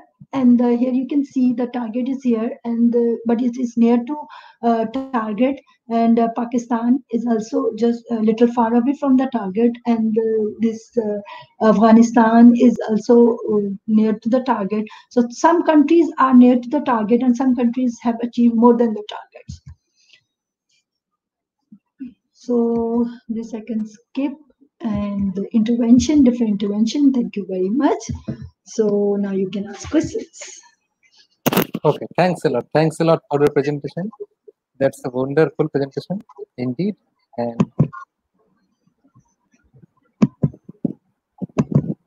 yes, now let me ask you a few questions that um, uh, first of all, um, is male sexual and, repro and reproductive health not very hmm. much researched. What do you think? Yeah, because there is reason. Because uh, women uh, sexual and reproductive health is related to reproduction and uh, um, women they are experiencing a lot of uh, uh, morbidities and mortalities so that's why this is well researched area in uh, all of the countries. But uh, uh, men sexual health we can't say that it is not uh, uh, this in this area there is lack of research. Research is available because if you see research related to infertility um, then uh, uh and uh, other issues then hegemonic masculinity issues these are well researched. In even in pakistan one of my students he has worked on it as well. But uh, you are true that it's um, it's not as much research as we have research in the area of female uh, reproductive health because there is reason because male they are not experiencing a lot of morbidities and mortalities because of their sexual and reproductive health related issues. One thing which is uh, common leading to morbidities uh, is related to sexually transmitted infections and uh, there are some congenital anomalies which are very common and the issues related to infertility. These are common and then afterward in the later age uh, survive, uh, this prostate cancer is common so these are the different issues which are studied. But even if you see in the uh, domain of medical sciences it's uh, the reproductive health uh, of male is not studied in uh, in the reproductive health domain but in the nephrology and in other uh, domain. So it's uh, this is the main reason is just because women uh, reproductive health is linked with uh, reproduction and a lot of morbidities and mortalities. Okay then there is another question. Yeah.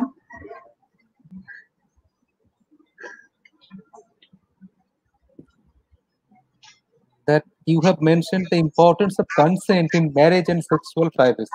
In this context, how do we see the choice of a woman not to reproduce? The image of the mother is an ever exalted one, and women who cannot or don't want to reproduce often bear the burden. So, what will be your take on it?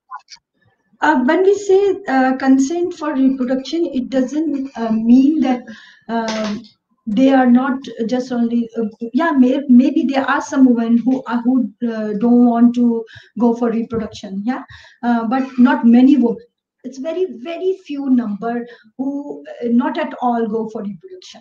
But there are huge number who go for reproduction. But what we are talking here that women should have say they should have decision making power for deciding when they want to have this next uh, pregnancy. Because most of the time what kind of problems we are experiencing in south asian societies that there are multiple pregnancies there are less spaced pregnancies and it shows that women they don't have decision making power because it is less likely that woman uh, a woman she wants pregnancy every year. It's not the case. But uh, because of the reason, because of cultural pressure, because of uh, um, uh, non uh, decision making in the family matters, they cannot decide that if when they have to reproduce, uh, go for reproduction. For example, two years, three years, they cannot decide for that. So, but those women who not at all go for this, this is also their choice but uh, they have to face the problem related to uh, their relationship related issues from the cultural uh, pressures they have to experience it. But this is also their choice. They should be provided this right.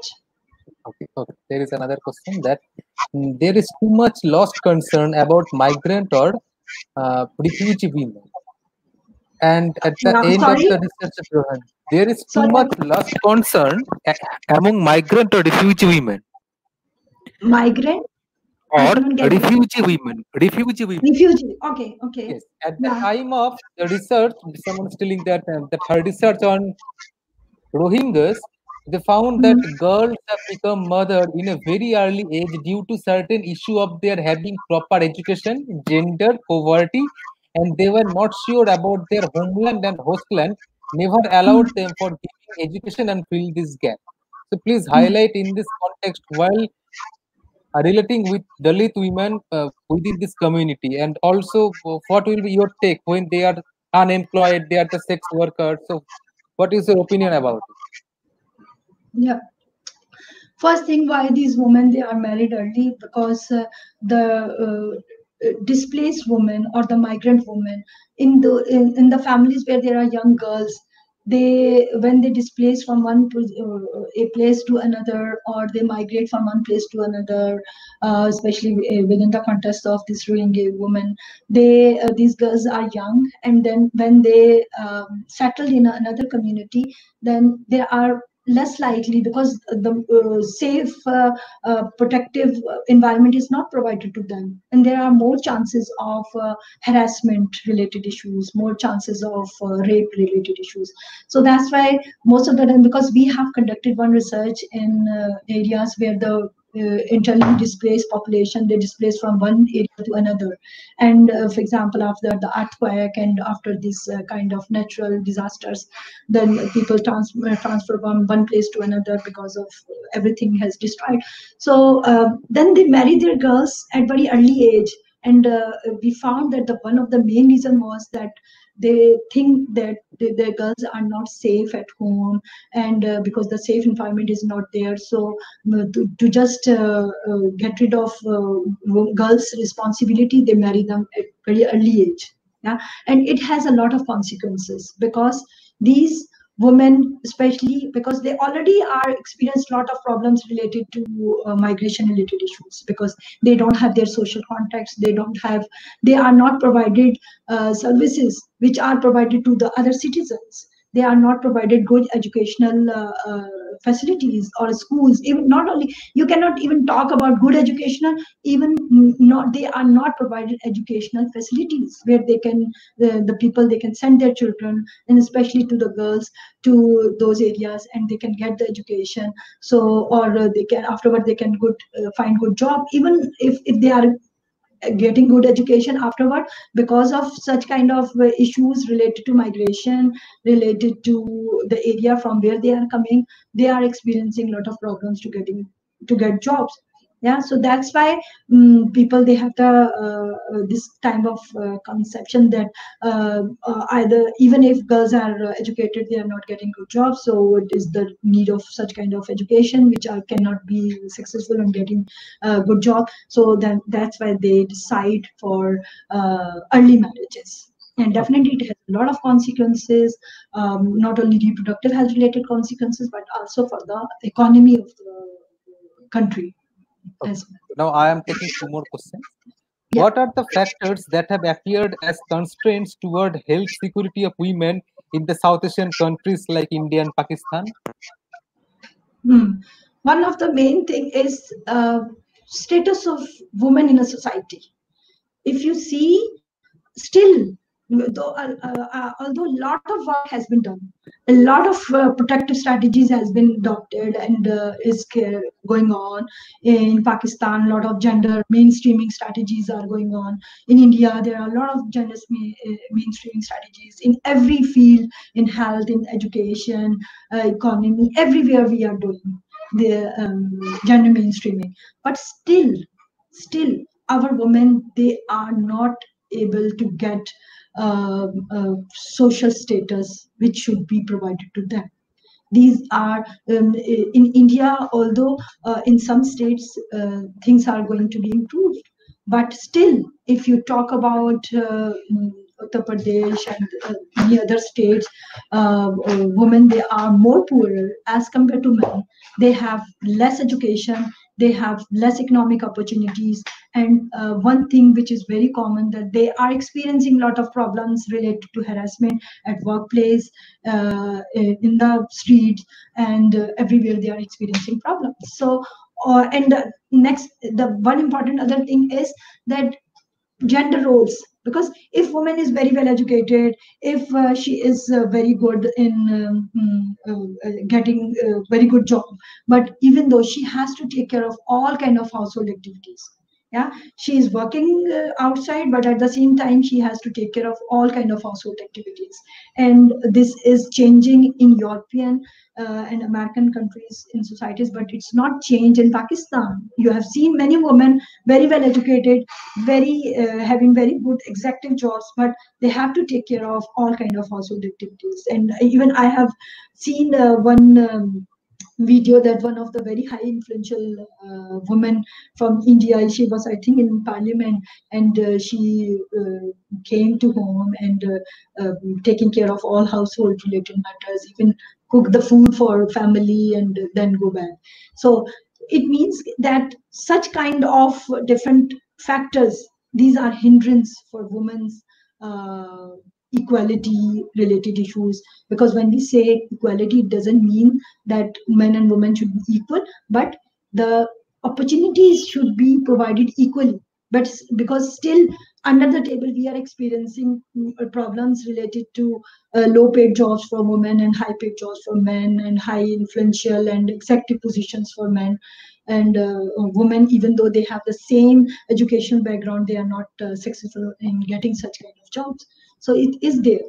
So because of all these reasons, the women still experiencing this. Okay, okay. Um, I can take two, three questions, but I'm requesting you to answer uh, maybe short way so that I can take also because so many questions are there and they are keep requesting me that please um, ask the question, please take this question. So I'm also taking this question that okay. why should reproductive rights include the matter of marriage and is it not indirectly we are forbidding the single motherhood concept?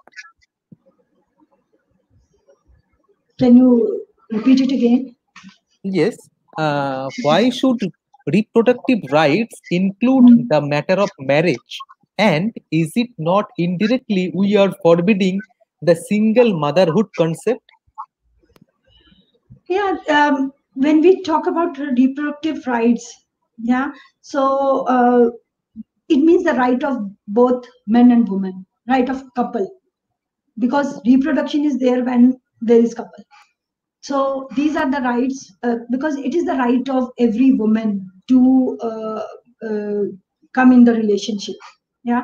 So um, it doesn't mean that we are not talking about uh, single mother issue because there are a lot of problems women are experiencing if they are single mothers. Um, because uh, it doesn't mean that they don't have reproductive health related issues but the problem is when we talk about reproductive health and uh, rights it's related to this relationship but at the same time it also because as i said the reproductive and he- sexual health it include not only uh, uh, reproduction related issues but also the issues related to communicable non-communicable diseases and the diseases uh, related to uh, for example cancer and uh, all other kind of uh, issues. So that these services to, should be provided regardless of the marital status. Yeah if it, she is mother or no, or not mother, if she is married or not married. It means services should be provided to each and every woman, each and every person. Yeah, the rights are for every person, but some rights are related. Here, for example, I talk about right of education, right to education and information. It's for everyone for regardless of marital status it's for everyone uh, protection from uh, ill health uh, ill treatments from uh, violence violence at workplace violence in the street violence at home so all these are for everyone regardless married or not married but there are some rights which are related to the um, relationship yeah so these rights uh, sexual and reproductive health rights are not only for those who are married or unmarried but for everyone Okay, thanks. Yeah. So, taking one last question that in South Asia, women are not given reproductive rights. The condition is forced in India and Pakistan. What do you think is the solution? Women literacy or government policy? What will be your solution? And at the same time, I think uh, everything counts to because education की बात करेंगे तो education is very very important because until unless women are not because at the moment uh, uh, still uh, although the uh, literacy women literacy has improved a lot but still uh, there is a gap between men and women education or especially when you talk about uh, higher education there is gap yeah so until unless we are able to fill this gap women and men they have equally in education they have equal opportunity for economic uh, uh, economics and uh, they have equal uh, and women friendly environment is there. Until unless we have not such kind of uh, preventive strategies at the workplace is available women will not able to work uh, because uh, in at the moment around 25% of women they are in the economic uh, activities in Pakistan. And uh, I think in India, it's about 35% women they are in economic activities. So um, still there is a huge gap. Yeah. So we have to fill this gap if you have studied this gender gap index report, it shows that there, the uh, gap should be filled in education, in income, in uh, uh, economic opportunities and uh, in this um, political participation yeah? So if gap should be filled in all these four areas then it means that there will be gender uh, equality gender uh, mainstreaming in all fields.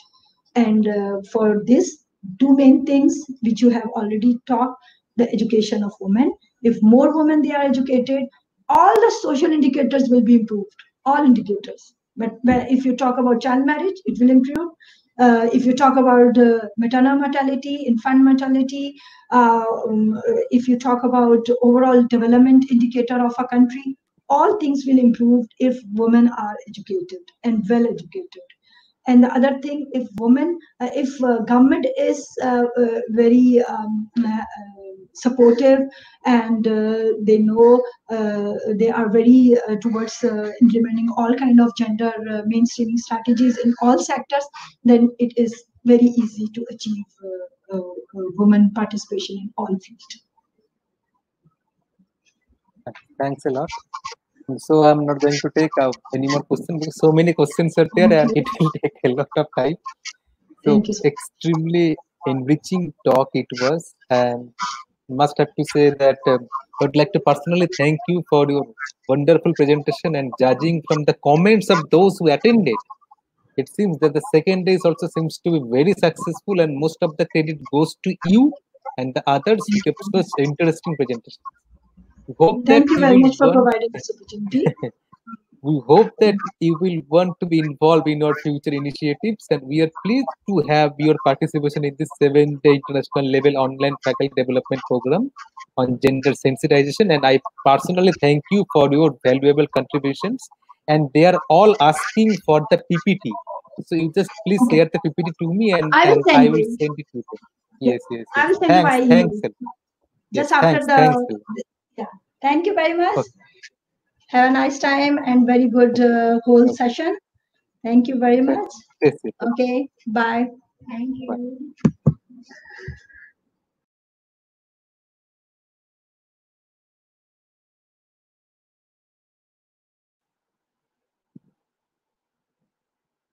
So I am requesting now all the participants that the feedback link is already um, it is not the feedback link. It is the assignment link it is provided in the chat box.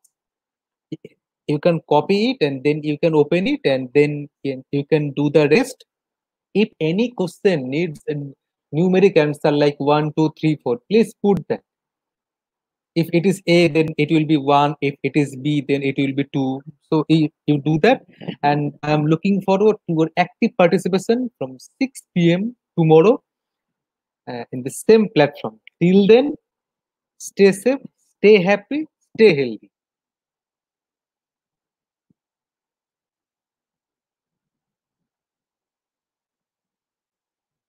Thanks thanks so i'm going to end the session and i have already shared i'm still um, one more time i'm repeating that i have shared the link and now again i am going to share it now for that several times i have shared the link.